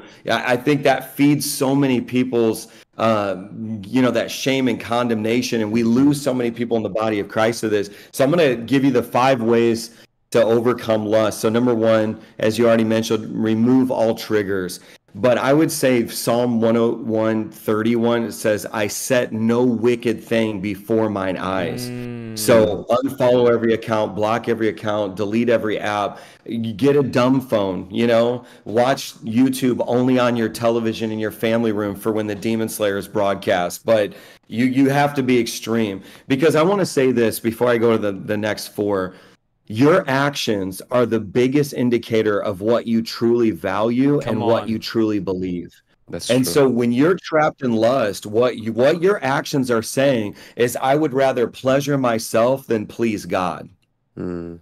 That's straight up what you know. So I mean, right now there's this should be deeply convicting because when you say, you know what, I got a dumb phone without the video capability because I'm that serious, what that action would show is that's how much I love the Lord. And There has to be this this a demonstration of your love for the Lord. Mm-hmm. So number one, remove all triggers. Number two, we all say the phrase renew your mind, but I have a real practical that helped me. So like in Isaiah, you nailed it. But typically lust, like when people interact and they do things they shouldn't, it's at the beginning of the day or at the end of the day. Yes. So you need to replace that with reading the Bible and praying at the beginning of the day and reading the Bible and praying at the end of the day. So renew your mind means replace those times when you would engage with it with Come reading on. the Bible and praying. Uh-huh. Number three, this one was major. I've never seen a teaching on this. I'm thinking about doing an entire video on it. How speaking in tongues audibly can actually be a way of escape out of lust. Come on. Come on. For me, I, I started speaking in tongues every time. So for me, it was like lust of the eyes, like walking around, you know, seeing things. And so I noticed that when I started speaking in tongues, it would mm-hmm. out of the flesh into the spirit. And I would immediately see somebody. And instead of thinking lustful thoughts, I would think about how to minister to them or what Come am I discerning in the spirit. So speaking in tongues is a major uh, key. I've never heard anybody actually connect tongues to freedom from lust. But number four, and this one's going to be hilarious. So I put down confession. But you, you all who are watching who say, "Oh, I have an accountability partner," you have the wrong one. You Come pick on. somebody you're comfortable with telling. So when I used to do this with my interns back in the day, because I had a big intern program I ran, I would say I would ask them, who would you be absolutely mortified if you found out that, that you watch porn or whatever and they would tell me? I would go get that person's Wow. email address and then hook their email up for the porn monitoring uh, software. And i'd be like hey congratulations pastor vanessa is now going to get a notification every single time you watch porn. And they would be like wait what so the, a lot of you, your accountability partner, it, it actually some of you are so dirty and filthy. You like confessing it to people because you get that's a whole nother thing. So uh, that's a whole nother, okay. If you can tell, I'm a practitioner, man. I deal in this stuff for a living. Number five, this is the last one. I put redirect, and this is this helped me. So if you're in a marriage, that energy needs to be expended in the marriage bed. Mm. And if you're saying, "Oh, I don't like my wife's body," I remember I said that because my wife, after our first baby, was like super depressed, and I remember saying, "She's not the woman I married. Her body changed, and she gained all this weight." And I remember the Holy Spirit spoke to me and said, "Mike, your body, your wife's body, is a reflection of your abuse. It's your lack of love." And if you'll start to love Julie, her body will transform in response to your words and your affirmation. And I started changing the way I spoke to my wife, and she literally became a triathlete. I mean, literally Wow. became a triathlete. And it so if you, for those of you who are like, oh, my spouse's body, no, think about your words, not their body. Think about Mm. your treatment, not their body, because you change those things and their body will change. Mark my words. And so when I say redirect, bring it into the marriage bed. But if you're single, I want to suggest that you, and this is apart from deliverance, because we're going to do that here in a moment, but you also need to redirect it into physical activity like working out, running, Yes. because exhaustion is a great solution for lust. Some of you mm. have too much energy because you're lazy. You're sitting around in your bed. You you don't even have one full job. You're lazy. You're not lustful. You're lazy, and laziness is producing lust. If Wow. you were as busy as me, you would be too tired to do it. So Mm. it's like, and so I think some of you, especially men, you know, um, it's you need to get out there, move your, and get to the point where like I'm just, I'm exhausted. I've Mhm. expended all my, you know, David, and we all know this cliche, but David, at the time when kings were at war, he was not at war. Yep. And he redirected that energy into Bathsheba. And so there, it, it's a reallocation of energy. You're going to do something with it. So spend it in the right direction.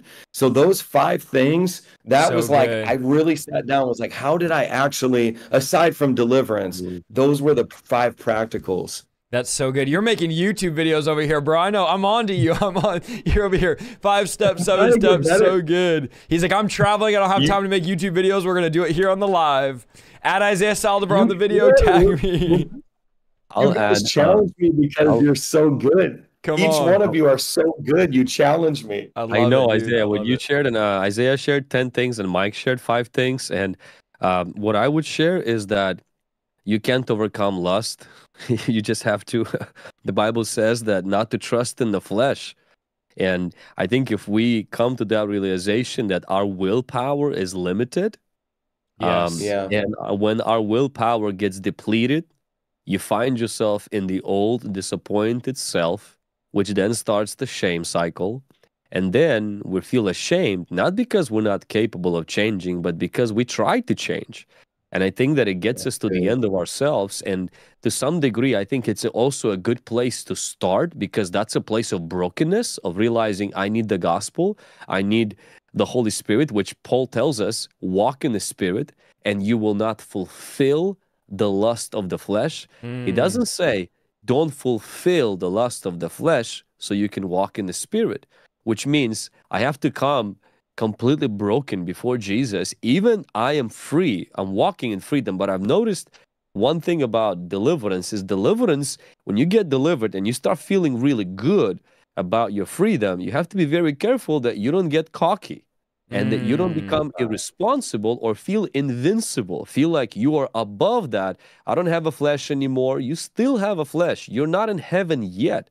And so that humility of knowing that I cannot trust in my flesh and I cannot trust in myself to walk in that freedom, I need to trust in the Holy Spirit. For me, that's that's number one thing. And because I've dealt with mainly with some guys in my team when they got delivered and you know about three four months ago i remember one person he fell back he came to me and i asked him how his lifestyle was going and he told me he's like honestly um, i kind of got a little bit um, felt like I will never be able to fail again. I'm delivered. That's it. And he says, I took a lot of restraints out of my life, a lot of boundaries out of my life. And I think this was a humbling experience to remind me that I need Jesus every single day. Yes. And I am I am delivered. I just cannot get Good. lazy in my walk with God.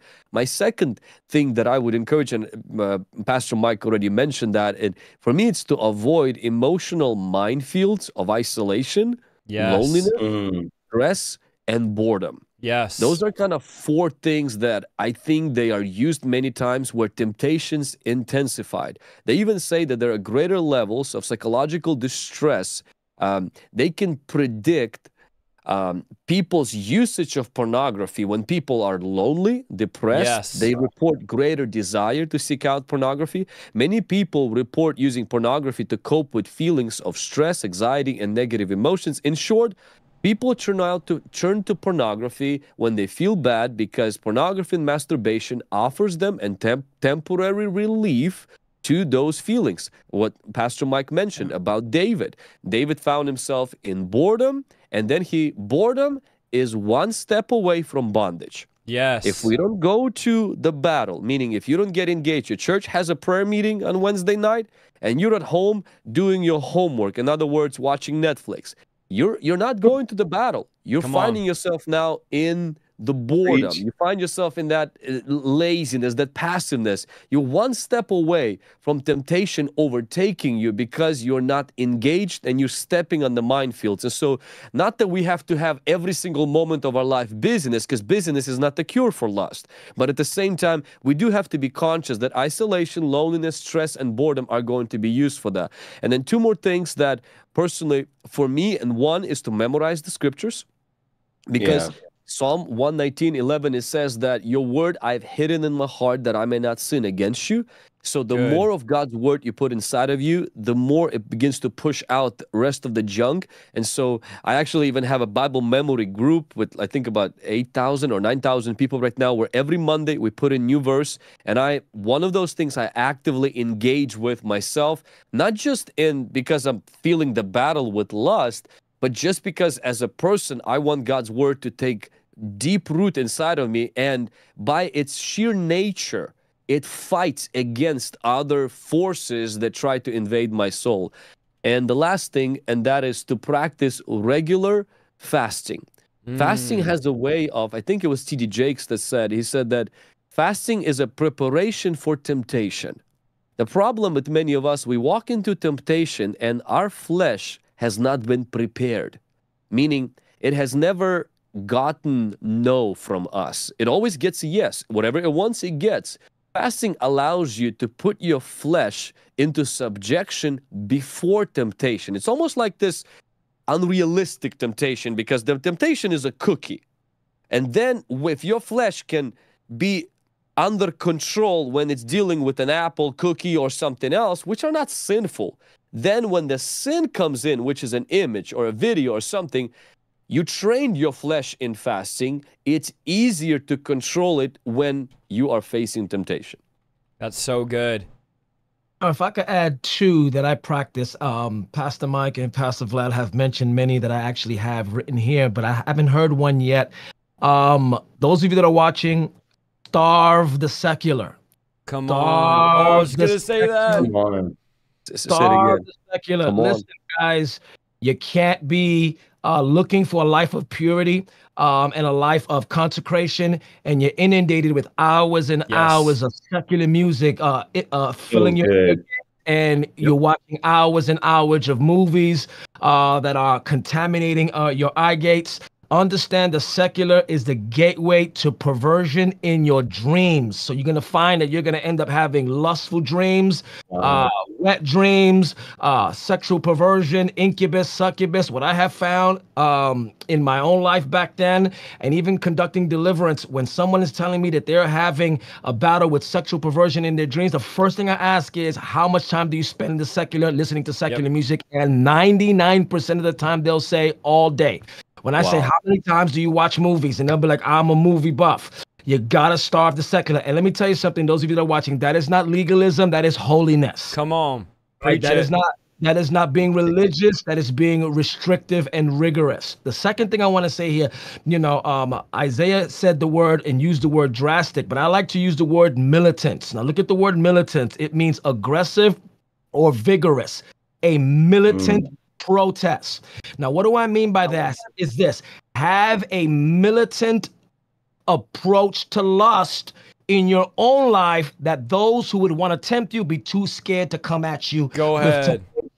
Meaning, you if I could see that you're still open uh to fornication and I could tempt you in conversation and you're still engaging with me, then I'm gonna pursue it. What do I mean by that? Is this is be so militant against lust and perversion in your own life that a groupie. Now, this is to my preachers that are watching. Go ahead. And I'm saying this, I'm saying this as a personal example. Most of us travel with our wives, but there are engagements where we don't travel with our wives. In all the years, and I've been in ministry since 1995, I have yet to have somebody approach me on some c- celebrity preacher stuff, or groupie stuff, or temptation. Why? Because number one, I am openly always talking about my wife. I'm on. always sharing that I'm in love with my wife. And not only that, I have a militant approach against adultery, which means I want to see somebody try to come and tempt me with a I'll meet you at your hotel room. I promise you I'll embarrass that person. so when so if there is a person that would even try to attempt me, they'd be too afraid to do it because they know I am not playing that. And and watch this. Preacher, if you find that women are flirting at you, maybe you're just flirtatious and maybe you're Yep. not being militant in your expression against it. Yeah. Be so holy that when they look at you, they will be intimidated and won't even try to come at you because you have a militant protest against sexual perversion, whether in fornication, if you're single, as a minister or a preacher or an evangelist, or as a pastor leader against adultery. Be militant in your approach and be openly hostile against it. And you'll find that it will provide at least some uh, restriction. That way, it won't even come in your radius, and you find yourself you won't be as tempted as much. And I'll be honest with you, us four together, we travel a lot, and we have yet to see anybody really come at us because No. they know, they know that we have zero tolerance against it.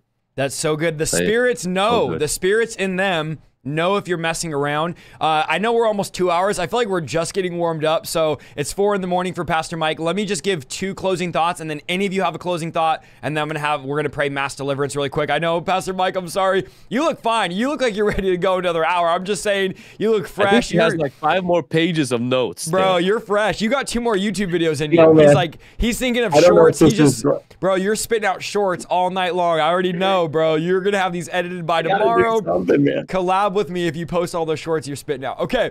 Um, two thoughts I had while you guys were speaking uh, of people struggling that I'm reading the chat here. Number one, some of you need to go ahead and get married. I'm just gonna say it here. Paul said it's better to marry than to burn. Some of you guys out here, you can't keep your hands to yourself. You're on fire and not in a good way. Your crotch is on fire. You need to get married. It's a biblical. I'm sorry. I sorry, can't, I can't keep a straight face. You need to get married. I'm gonna tell you why. I'm gonna tell you guys what's going on. We have an entire. I can't. Listen, for those of you that are watching, this is how we are behind the scenes. We are real men. We are real guys. We're preachers, but we're still men, and we have fun, and we're For walking real, this though. faith of accountability together. So, Paul said it's better to 100%. marry than to burn. Here's the thing, okay? I'm, I gotta stop. Here's the thing. R- real talk, serious. I'll stop laughing. We have an entire generation, stop me if I'm wrong, that says, uh, get married around 30, 35. 35 Right. is too old to get married. 30 is too old. I'm just gonna be honest. In my opinion, 25 is too old to get married. I got Yep. married at Get married at 21. I feel 24. like it was a good age. Um, I got married at 24. I was 21. I think I'm not forcing you into marriage, but some of you, you're waiting. You're like, I don't know why I keep struggling. Well, I mean, you haven't had sex in 20 years. You're 40, 50, and you're trying to wait to get married at 35, 40. It's really, Paul literally said it's better to get married than to burn with lust. So there's that. That's number Yeah. one. Number two, if you are married, because again, I'm responding to the chat here, and you're like, well, my wife, well, my husband, here's the deal it's not biblical and it's not healthy to be married and not be having sex. I'm just going to say it that way. Paul said the only reason why you should stop having sex is if it's for a season fast. But he said after that season's over, that fast, uh, I'm using it for lack of a better term, you need to come back mm. together. Why? Yeah. Yeah. Because your wife's body belongs to you and your husband's body the husband's body belongs to the wife. So it's not okay ladies and and men as well to withhold for 6 months or a year and get back at your husband. No. If that's where you're at, you guys need to come back together. You need to talk. You need to get counseling. You need to pray. You need to fast. You need to go through deliverance.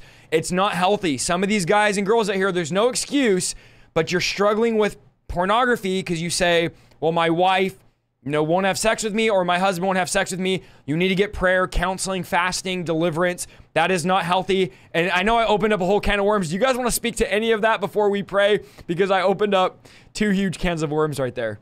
I, I would say the opposite as well. I would say, fella, if you're watching and you and you finding that there is a, a, a, a lack of uh, sexual intimacy in your marriage, then how about you make your wife fall in love with you again?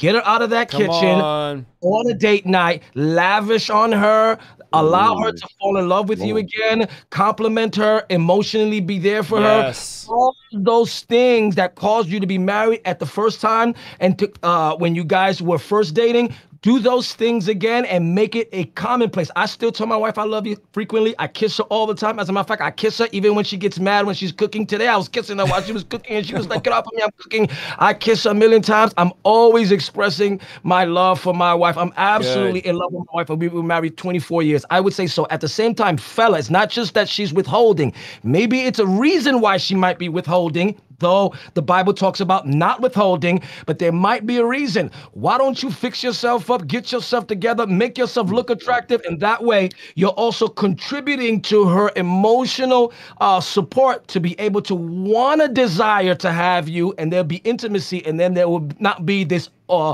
uh, open hole, not uh, this open uh, breach that we did. Let me also say to the to the ladies as well as the wives, just because uh, you're not uh, sexually motivated doesn't mean your husband's sexual drive stops.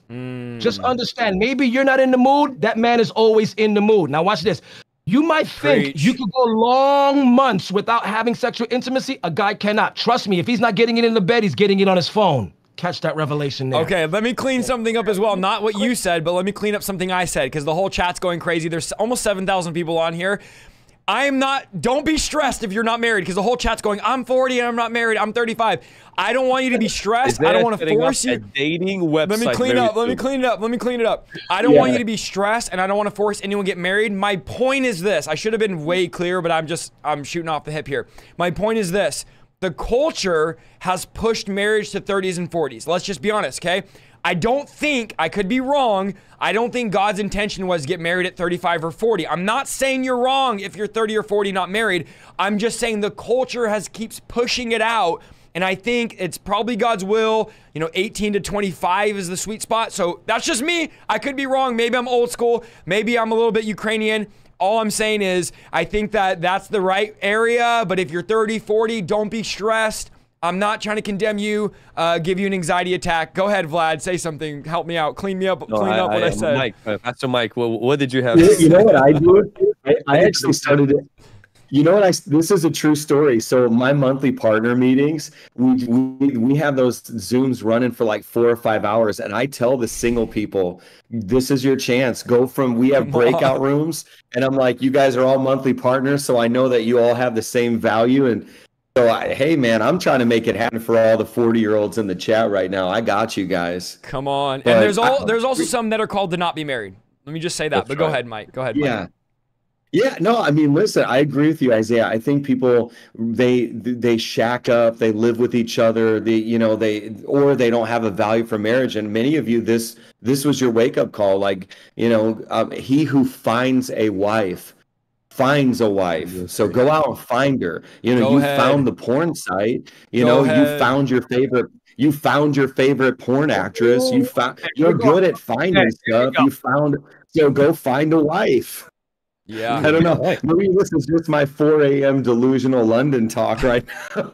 Mike need to go to bed. He's tired today. Now, Yeah, absolutely. went from and and let, let me give this last thought. I, I, this is my my third last thought. Let me give my third last thought, and I'm done. I promise. And then I'm gonna have Pagani two, pray man. mass deliverance.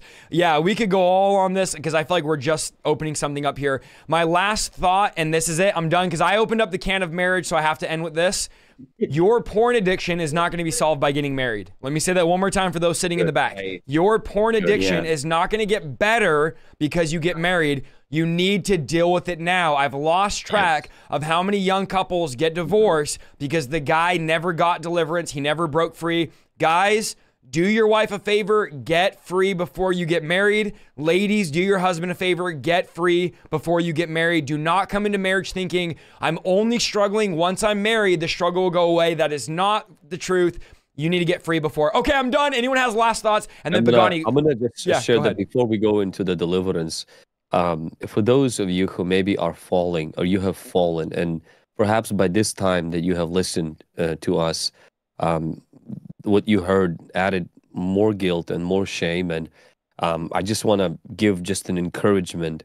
Uh, Proverbs 24 16, it does say that for the righteous man may fall seven times and rise again yeah. but the wicked shall fall by calamity. You are a righteous person. If there's a sense of guilt, shame, um, that means that you're not lost. People don't drown by falling into water; they drown by Mm. stay by staying there. So get up, um, repent, run to the cross. You know, I love the encouraging words that Jesus gave to Simon. He said, "Simon, Simon, Satan asked for you that he may sift you as wheat, but he said, I prayed for you." that your faith will not fail. And then he says this when you return to me, strengthen your brethren. You know, Matthew 12 45, it talks about the whole seven spirits that are more wicked, you know, than the spirit that left the house. And it says this, and then they returned to the house. You know, and though that Matthew 12 deals, I believe, with other things than just deliverance, but there is the demons returning, and then there is us returning. And so we have to return. Uh, we have to return to God. We have to ask Him to forgive us. I remember when I fell repeatedly, and I came to my pastor. Something my pastor told me. He saw that I was so beaten emotionally. I was so distraught. I mean, I thought that not only I lost my salvation, I thought that it's over for me. I'm like 14 year old, just starting to preach, and I remember came at 11 p.m. on Saturday. My pastor was already sleeping. I, I, I went straight to his room. His wife left the room, and he had to wake up to his wife, send him to a different room, and I'm shaking because I'm scared to death. And and I remember words that my pastor told me that really honestly helped me to prepare me for deliverance. And he said this. He said, Vlad, the devil's goal is not pornography. He said the devil's goal is guilt. Mm. He said pornography, what how long you watched it for? He's like 5 minutes, 20 minutes max. He says but you will live in guilt for days. He says guilt will do more damage and shame than that pornography did. And he's like and this is something that my pastor told me. He wasn't trying to justify it. He he saw my earnest desire to live holy and to live righteous and the shame, the guilt that I felt. And he said, "Get up." And he says, "I'm going to pray for you Jesus is gonna forgive you. And he said, pretend that it never happened and go and live your life. And I'm like, but what if I fall again? I'm addicted. And he says, You're gonna come, we're gonna pray, you're gonna get up again. And honestly, he wasn't condoning that, but he was also bringing me to the cross, bringing me to the gospel every single time. And, and it was after a few years that I experienced that breakthrough and that deliverance. But I know people who give up when they fall and they say, you know what, it's over, that's just who I am. That's not who you are. Come you're on. a child of God. This is not, you're not a pig that is comfortable in the mud. You're a child of God. That's why you feel so disgusted. That's why you feel so empty. That's why you feel so shameful. And so get up from that, rise up from that. Ask Jesus to wash you. And right now, I want you to open yourself up because God not only is going to wash you, but God wants to deliver you right there from the comfort of your room, the comfort of your office, or even if you're driving, because deliverance is about to break out. And some of you, this is the moment you've been waiting for. And I'm going to pass on to Apostle Pagani. Amen. Pagani, why don't you pray against the spirit? We'll really focus on that and, and pray for freedom here. the first thing I want you guys to do, those of you that are watching, is number one, I want you to take maybe 10 to 15 seconds of full repentance, Mm, complete turn away. Yes. turning away, not remorse, no more remorse. Those of you that are watching, no more remorse. We know that you're remorseful. What we need you to do is full repentance. It's a complete 180 turn, and I mean serious. And pray this prayer, even if you've lost that place of repentance. Say, Lord, make me have a desire to want to have a desire of full repentance, because Sometimes we're so trapped in this cycle of remorse that we don't even we can't remember when was the last time we've had true repentance. The, the second thing i want you to do is this is i want you as you do a 180 turn i don't want you to turn and look at the arm of flesh which means i'm going to show god how i can overcome uh, this uh, lust. No, you turn to the cross. You focus on Christ Jesus. It's a turning to putting your eyes completely on the author and the finisher of your faith, not on your strength. Uh, to overcome a lust, not faith in your faith, no, faith in Him, faith in Him. And that's what happens with many of you. You're trying to show God, okay, God, I'm going to overcome this. I'm going to show you that I can do this and that I mean it. No, you turn to Him face on him and focusing completely on him who is the author and the finisher. And the third thing is trusting in the power of the Parakletos, which is the Holy Spirit.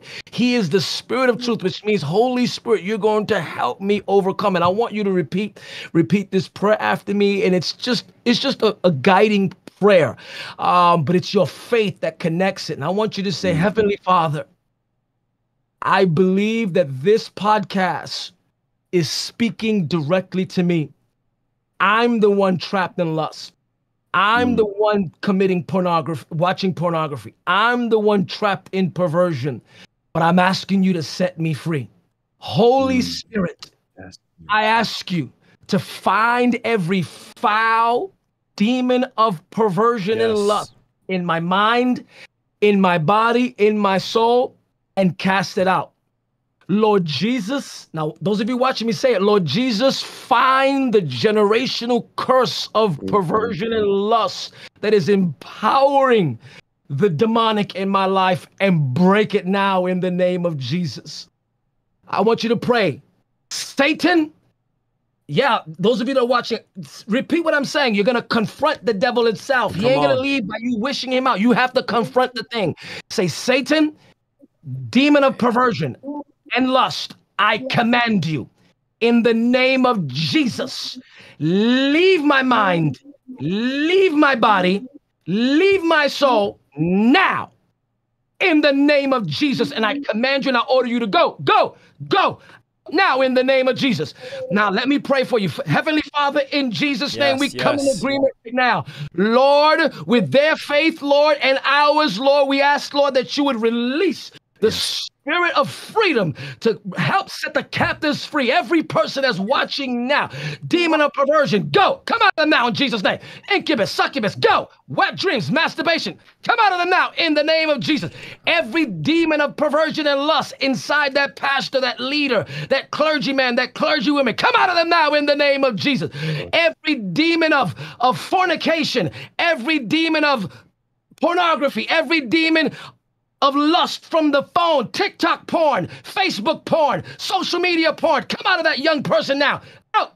Go now in the mighty name of Jesus. Release them now in Jesus' mighty name. Now, for those of you that are there and you're watching, come on, I want you to push those things out. Breathe those things out. Tell those things to go.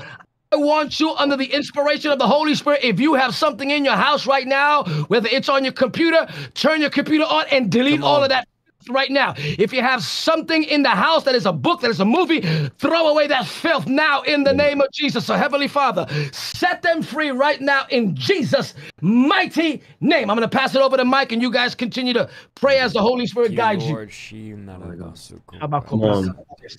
I, I believe somebody's being healed from trauma. As soon as you were praying for that, uh, I, many of you are receiving deliverance, but there's somebody that I believe there was trauma, and and some of it is connected to something that happened to you and how mm-hmm. you were abused even in your past. So the Lord's healing you right now. It just like suddenly got like a just a vision of you being healed in that area. So I just pray right now, all trauma from past instances, things that happened, things that they've never told anybody, things that they've never confessed. Lord, that you would heal and restore them in the area of their emotions right now. That, Lord, you would heal and restore them in the area of their mind right now. God, that you would touch and heal them even in their body where they were uh, victimized, God, where they were traumatized, Lord. And I thank you that you are healing and restoring.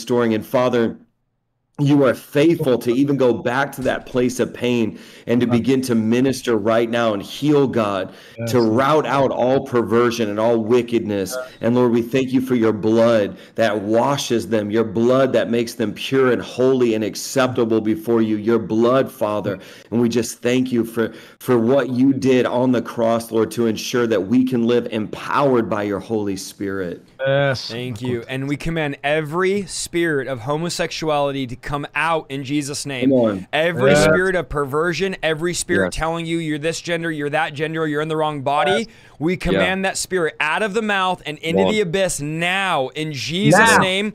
You have no power, Amen. you have no authority. Loose them. In Jesus' name, Amen. out in Jesus' name. The blood is against you, Satan. Every sexual, foul spirit of Jezebel, perversion, lust, or homosexuality, go now. Come out of their body. Leave their body now. The blood is against you. We bind every foul spirit right now. You are bound. We bind you in Jesus' name. In Jesus' name. In Jesus' authority. Yeah. I pray, Lord, everyone that came in through trauma, as Mike just prayed, every spirit that came in through trauma must Yeah. come out now in Jesus' name.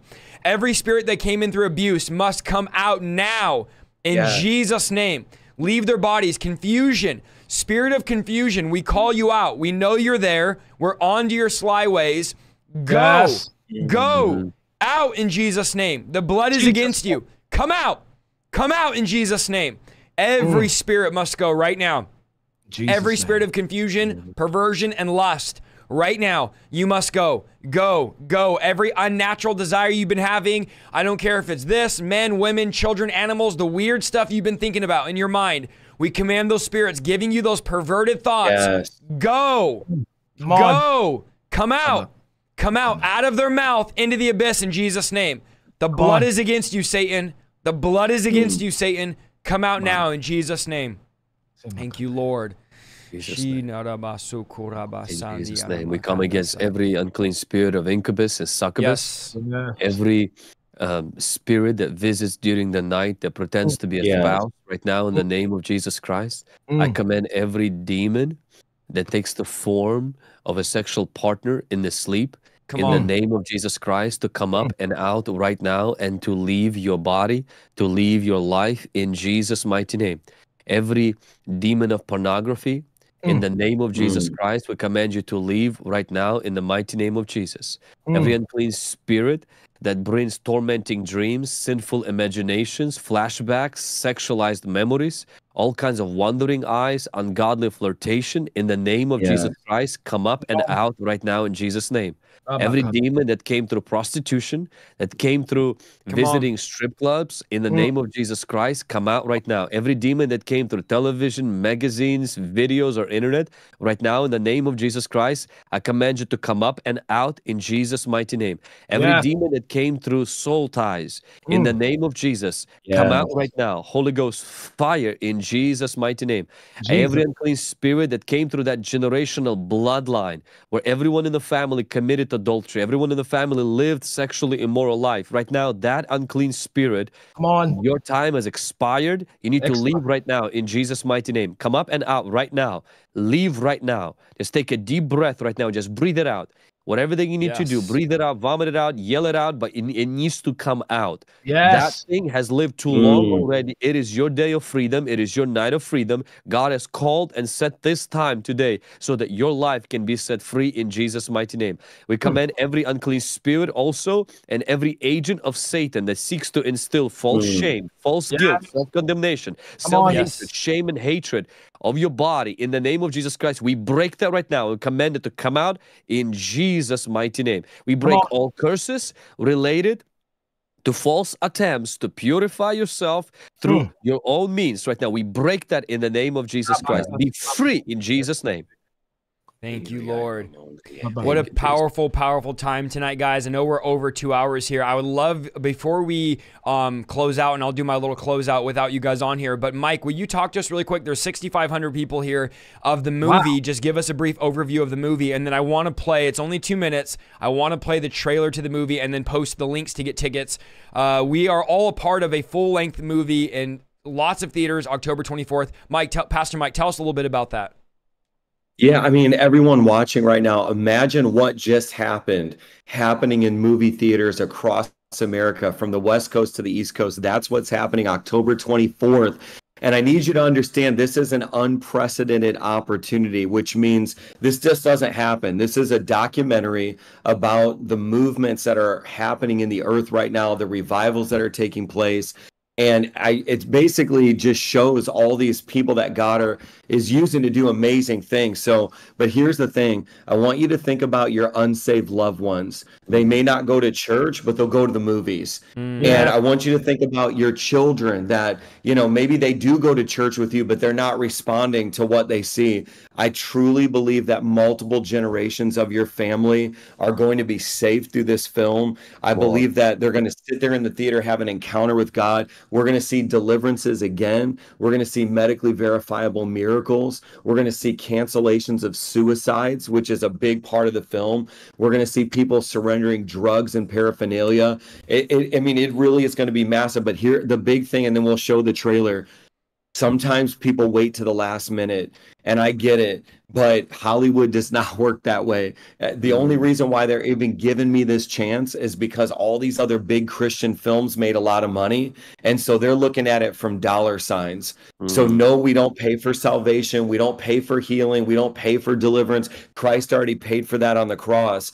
But w- when you buy a ticket and you buy tickets for your family, what you're telling Hollywood is um, this this matters. We need to open up more theaters. Like I said, we got the word that AMC and Regal over 400 new theaters were added just today.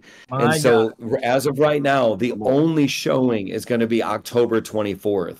Now, we hope that there's more after that, but we can't act like that's going to happen. So there has to be an urgency. Everybody's saying, I want revival, revival. Revival is inconvenient. Revival is going to cost you time and energy. Revival is going to cost you to have to cancel your plans. So, uh, October 24th, I want you to find a theater where you live and I want you to load it up. And then what's going to happen as soon as, okay, I got, I'm just going to say this because we got so many people online right now.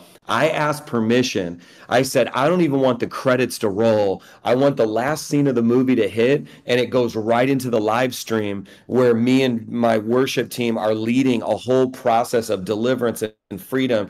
And and I said, then we can roll the credits after, and they actually agreed. So I mean, come on. Crazy.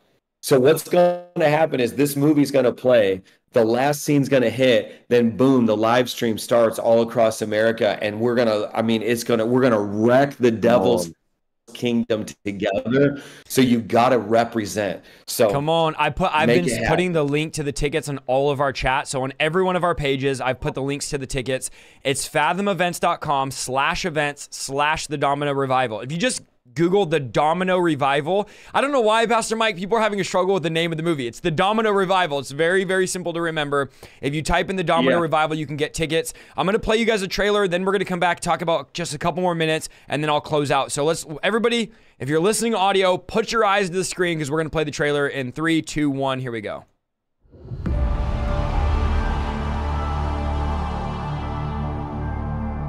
The Bible isn't the story of what happened.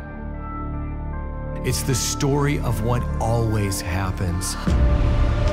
Society is attempting to redefine right and wrong. God's people are being faced with a decision. Do I bow in fear or stand for truth? It might look like it's dark. It might look like it's impossible. But I say I serve a God who deals in the impossible. Nothing is too hard for him. At his words, demons tremble. The Pastors already think I'm crazy, so I don't have anything to prove to anyone anymore. The doctors told you you'd always be on medication. The surgeons told you there's no procedure. You need a physical healing in your body, but I want to give you the healer, not just the healing. This is about the gospel. The reality of God should change everything about our life and the world around us. There were moments where I would cry, and I'd say, Lord, what am I doing wrong? The power went off, and about seven people ran forward with knives. When I was making all these TikTok videos, no one had any idea that I almost lost my life. I thought this is legit. Is it legit? What are we gonna even do?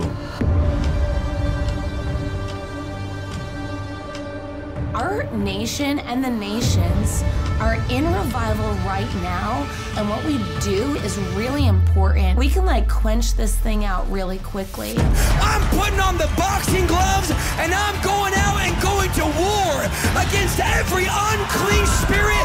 Devil, you might have power, but I've been given all power. You are empowered by Jesus Christ. We've worked with close to 5,000 churches. Pastor Mike, you are the fastest growing church in America. God is literally doing something here that we have never seen happen before. God preserves a remnant to bring a revival. We need the glory of the King. I will pay whatever cost I have to pay because I will not give that which cost me nothing!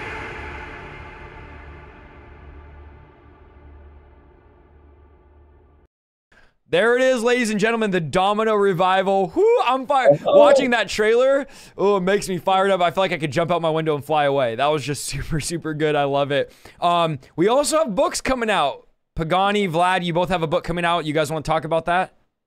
Okay, so September 5th, you guys could go get the part two to the Secrets to Deliverance called The Secrets to Generational Curses. So all you got to do is go to www booksbyalexanderpagani.com and you'll be able to pre-order it. The other thing I want to share is this, guys. I'm at 99,300. Help me crack that 100K. Those of you that are watching, if you blessed, Come subscribe on. to our channel and stay tuned and connected with us and everything that we're doing. Subscribe to us tonight and go get that book. The links in the coming out. description. The links for all the channels are in the description. Now, say the name of the book one more time. The chat's asking. The Secrets to Generational Curses. See, so guys, you can get this on his website, books by you said books by alexanderpagani.com. Dot com. Yes, Okay, books by books- alexanderpagani.com. Books by alexanderpagani.com, or you can get on Amazon. Now, I'm gonna tell you right now, the best best thing you can do for these guys. I'm pretending that I'm an author. I have no clue what I'm talking about. But the best thing you guys can do for them, for the guys that have books, unlike me, is leave an Amazon review. If you put five stars and leave a review, it boosts it on that. I do know this. It boosts it on the Amazon algorithm. It'll get more recommended higher up on the search. So guys, make sure you leave a review. And so that's uh, Secrets to Generational Curses. Books by alexanderpagani.com. Vlad, tell us about your book coming out. So um, I think a week after uh, Paganis, everybody go and get Paganis, and after you're done, um, host the Holy Ghost. It's been Come about on. three years that I've been um, writing uh, this and just kind of preparing for it. It's my journey of when the Holy Spirit became real to me and how that changed the ministry and really kind of launched me into a lot of the things that people see that today. Most people see the deliverance component, but uh, personally, in my experience, it's been the relationship with the Holy Spirit that kind of changed a lot of things uh, in my life. And so the book is going to be available in September. Host theholyghost.com or pastorvlad.org. You can pre-order it, and um, it will come out right away in Russian, in Spanish, and in an audible form. So I'm really excited for it. I think this is going to really cause a lot of people to have a real different relationship with the Holy Spirit instead of Holy Spirit being like a force. Um, he will really become a somewhat like a person to them, like the Bible describes, and they can develop fellowship, communion with Him, and walk in His power. So I believe it's going to be life changing. It's written in a very, I put the cookies on the bottom shelf. And so um, it's complex uh, topics, but they're written in a very simple and also use a lot of personal stories and illustrations that really kind of drive the point home. But I really believe that there's a powerful anointing on this book, and um, yeah, it's just Host the Holy today. Ghost. Guys, get the books. So we have Apostle Pagani has The Secrets of Generational Curses. Mike has a full length movie coming out in thousands of theaters October 24th. Vlad has Host the Holy Ghost coming out, and I'm going camping next weekend again. So, guys, make sure that you're a part of everything going on. My book will be coming out. It's okay to laugh, guys. My book will be coming out in 2042 and uh, that will be don't you can pre-order that in 2035 you can leave reviews 2036 it's going to be coming out in about 20 years. My kids will all be in college. I, I plan to when my youngest is in college i'll release my book. So you guys don't want to miss that. Is there anything else before i get you guys off and then i have everybody uh, donate to the stream that you guys wanted to announce?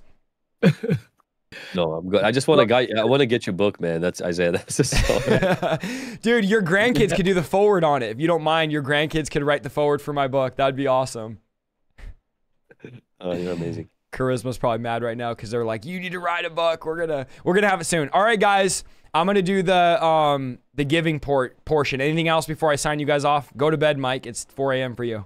I know I'm fading already. I don't know if you could tell, like slowly. It's been fun, man. All right, love you guys. You we'll guys. talk soon.